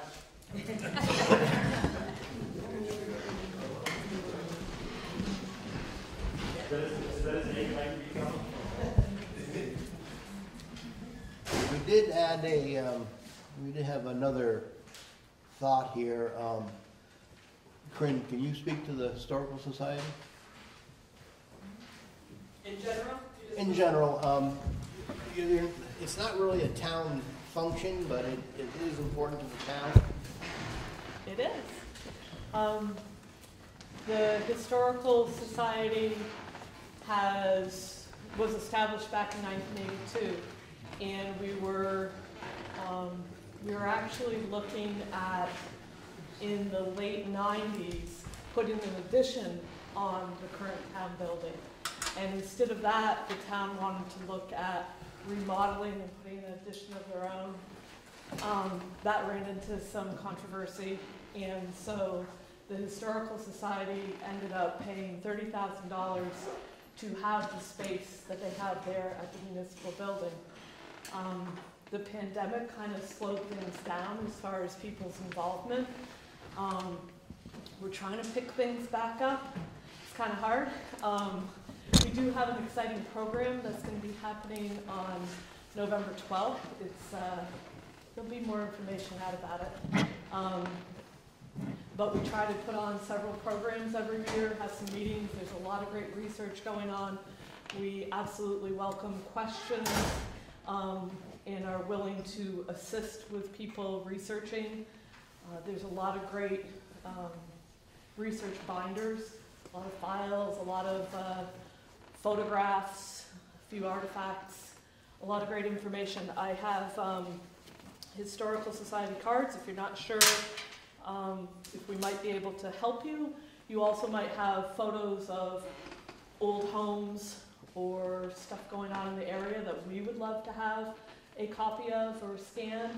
Um, old documents. Anybody basically that is looking for information, we ask them to then share with us what they can because you never know when somebody else will be researching a similar thing. You know, it could be somebody's third cousin that is also interested in some family history, and we- have connected up some family members, which is, is kind of cool in itself. Um, we plan on having a display at the next town meeting, which we've done for the last several years. This year, a reminder that town meeting is actually gonna be on the Saturday before town meeting, and then voting will be on town meeting day. Um, voting will be at the town office, but the town meeting, I believe, will be at the school, as it has been in the past. Um, and so that's where we'll have a display. I don't know if there's any other public forums that are being planned where uh, they invited us at the last minute to have a display, and it was too much at the last minute. But we always love sharing uh, um, materials that we have with people. So I love to talk history anytime anybody wants to. So if you don't know how to get hold of me, come and get a card from me, and I would be glad to. Either myself or Richard Turner or others are happy to meet you at the Historical Society. it might be during the day, evening, weekend, whatever works for you. We'll try to make it work for somebody to be able to, to meet you there. There's a lot of research that can be done, you know, outside of actually meeting to, uh, to help people along in whatever project, and we would love to have more people get involved. We've got lots of projects that uh, you might consider helping us with, and we've been putting more information on the Newtown website. Um, if you go to Community Resources and then Historical Society, um, we're trying to get some more um, indexes and stuff to help people figure out what it is that, that we offer. So, be in touch. Anything for Corinne? Okay, um, next is, uh, proposed charter changes, uh, Vince? Okay. Let me do that. So the town is proposing three charter changes that will be coming on the ballot this year. Um, We've had two public hearings um, and one revision notice on those.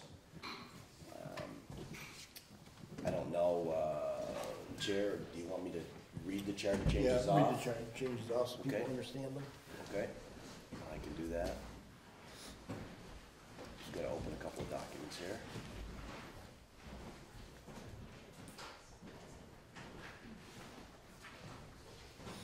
So the, the uh, first charter change is the, uh, will be Article One, it's the local options tax. And uh, based on that, and I won't read it as it's gonna appear on the ballot, I'll just, I'll just state what they are. Um, It's for the town to impose a one percent sales tax, a one percent rooms tax, and a one percent meals and alcohol beverage tax. Um, And the tax under that authority uh, will be collected and administered by the Department of Taxes in the state in accordance with 24 VSA. Uh, Revenues that uh, the town receives through that would be uh, designated for capital projects within the town. Do you want to have any discussion on that one? Uh, Sir, that was where the, where people who come into town but don't own land in town get to help pay for services that we offer them. Um, It is, as it was, as it's been said, that uh, our population swells up to twelve thousand. A lot of those are workers, a lot of them are shoppers. And this is just a way to have them help fund the plowing, the uh, infrastructure, everything else that we do f- to uh, encourage these businesses to be here for them. Um, Any questions on this? Do we have a projection on revenue? It's roughly six hundred thousand. If, if we, uh, if we implement the, the sales tax and the, uh, the meals and alcohol tax, it'll be just a, a little bit over six hundred thousand dollars with those two. Is that? And that's based on, uh, twenty nineteen, uh, tax numbers from the state. Yes. What what are capital projects? I wouldn't be following the capital projects. Well, capital, uh, uh, capital, uh, not projects necessarily, but capital uh, improvements, and that'd be equipment. Like snow, What's that? Dave? Like the snowplow. Yeah, snowplows, and one of the things, to give you an idea, the, that was the grader, that was what, Two hundred and thirty something thousand? and that was just one piece of equipment.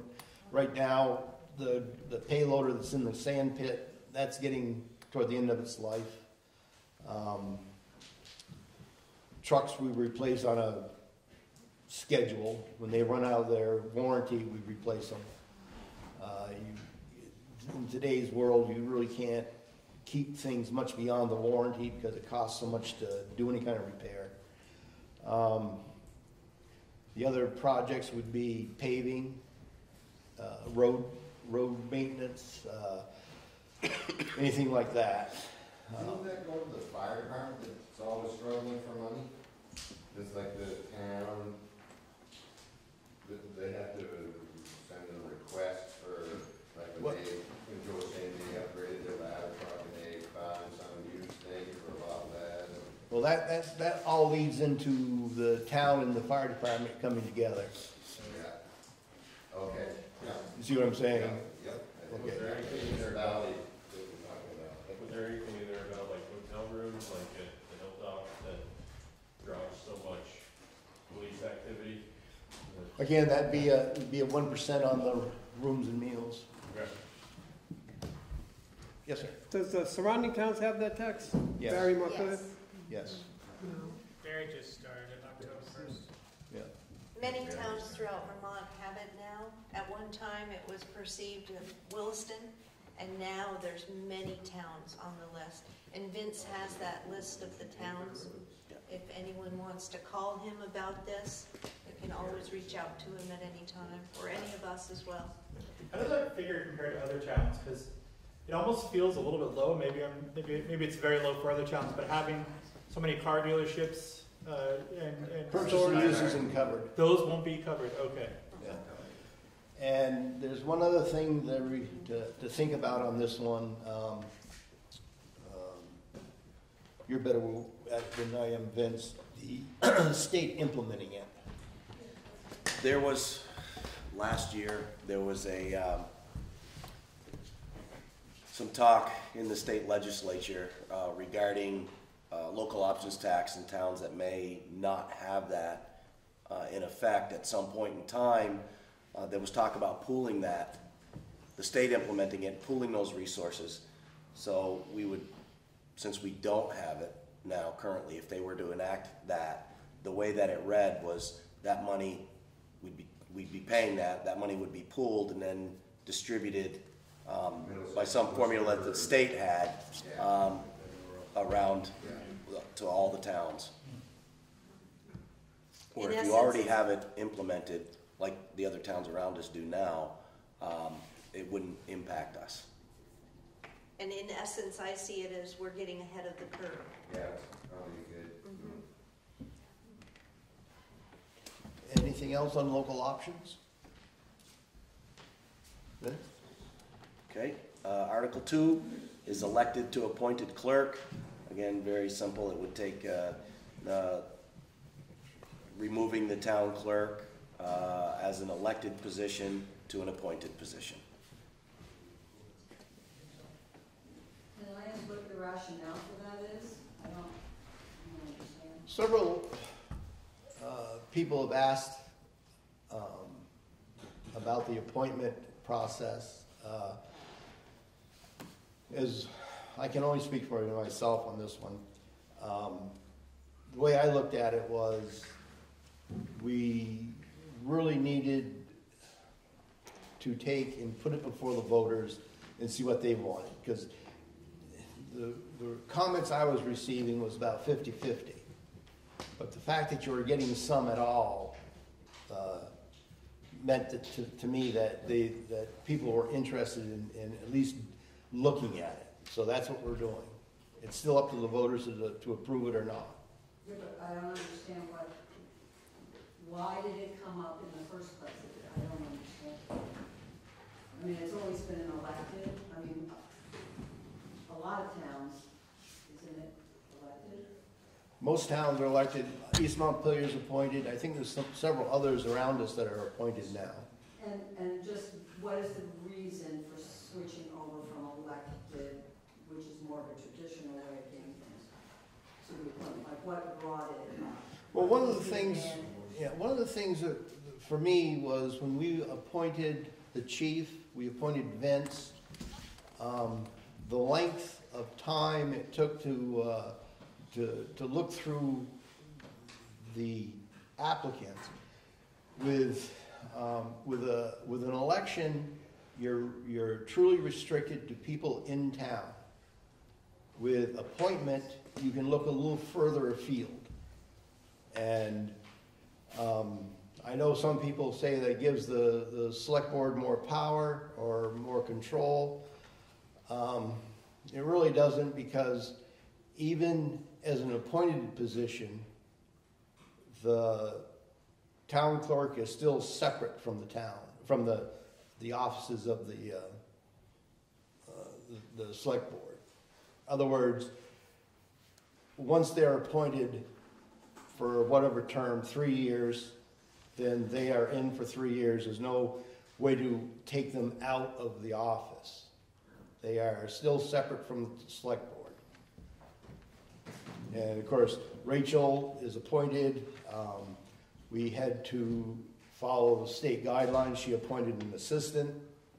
Um, the, the select board has no, had no control on that. It's, uh, that the, the select board is looking for more control. I don't, my personal view, I don't see it. I just want to see a, a better choice of, uh, or a broader choice to, to pick from. So is it still the three term, is it still, so, is it still three terms, or is, you appoint somebody and that person's appointed, For three years, oh, it is still three? yeah. Then at the end of three years, it's either reappoint or look somewhere else.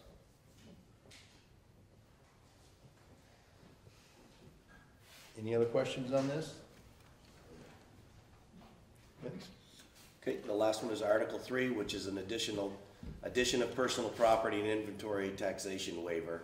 Um, Basically, that is when the uh, total assessed value, this is business now, personal property and inventory taxation is equal to or less than one thousand six hundred and fifty dollars. The town treasurer may, after approval of the select board, waive that personal property inventory taxation. Because at, at from the treasurer's point, it uh, probably costs us more to do the administration of that small amount of tax for the business um, than it does to just waive it at that point. So that's waiving it, uh, just anybody who comes up to the six. No, this is business related, this is for businesses. Right, But business, Correct. but it's not just, um, I think it says uh, that you may waive, waive it. Yeah, I don't have the numbers of, of how many have actually, the town did last year. Di- Diane would have that off the top of her head. Um, But But it's not that some people would be expected to pay it and some wouldn't. correct, correct. Okay. And, and also, the, what, what was the number, twelve thousand, twelve hundred? One thousand six hundred and fifty. If you, you have to run that through the, through the, um, uh, what do I wanna say, the tax, uh, you divide it by a hundred and multiply it by the, the tax rate. So it's not the one thousand dollars, it's actually the, uh, a hundred dollars on the tax rate is like twenty-five, twenty-five dollars or something? About that. Yeah, it's not, it, and for Diane, it's more of a nuisance to deal with it than to, uh, just, It would be across the board, it's Yeah. not like, the way it's written, it kind of is like, well, we might for you, we might not for, you know what I mean? you know, it's. But I, I under, I understand what you're You saying, know but, I mean, it, it, it reads that way. Yeah, yeah, but no, I So you're mean, just eliminating it yeah. for, for a certain. Well, that level of it. And realistically, how many businesses um, have personal property they're using for their business? I mean, most of our commercial properties here in town are uh, box stores or uh, much larger concerns. And personal property never really comes into it. It'll be for the, you might get a mom and pop type of operation that would have this. I, I guess it was just my English Yeah. grammar. We- We've had, we, A little bit. Well, we did have some review on the uh, wording of some of the other uh, changes too, but, okay. Anything else on that?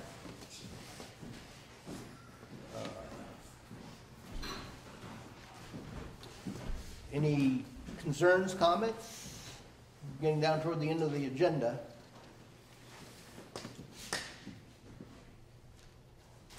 Thank you. Yep. Uh, So uh, we'll close the uh, floor discussion. Uh, Board have, or anyone want to have a roundtable?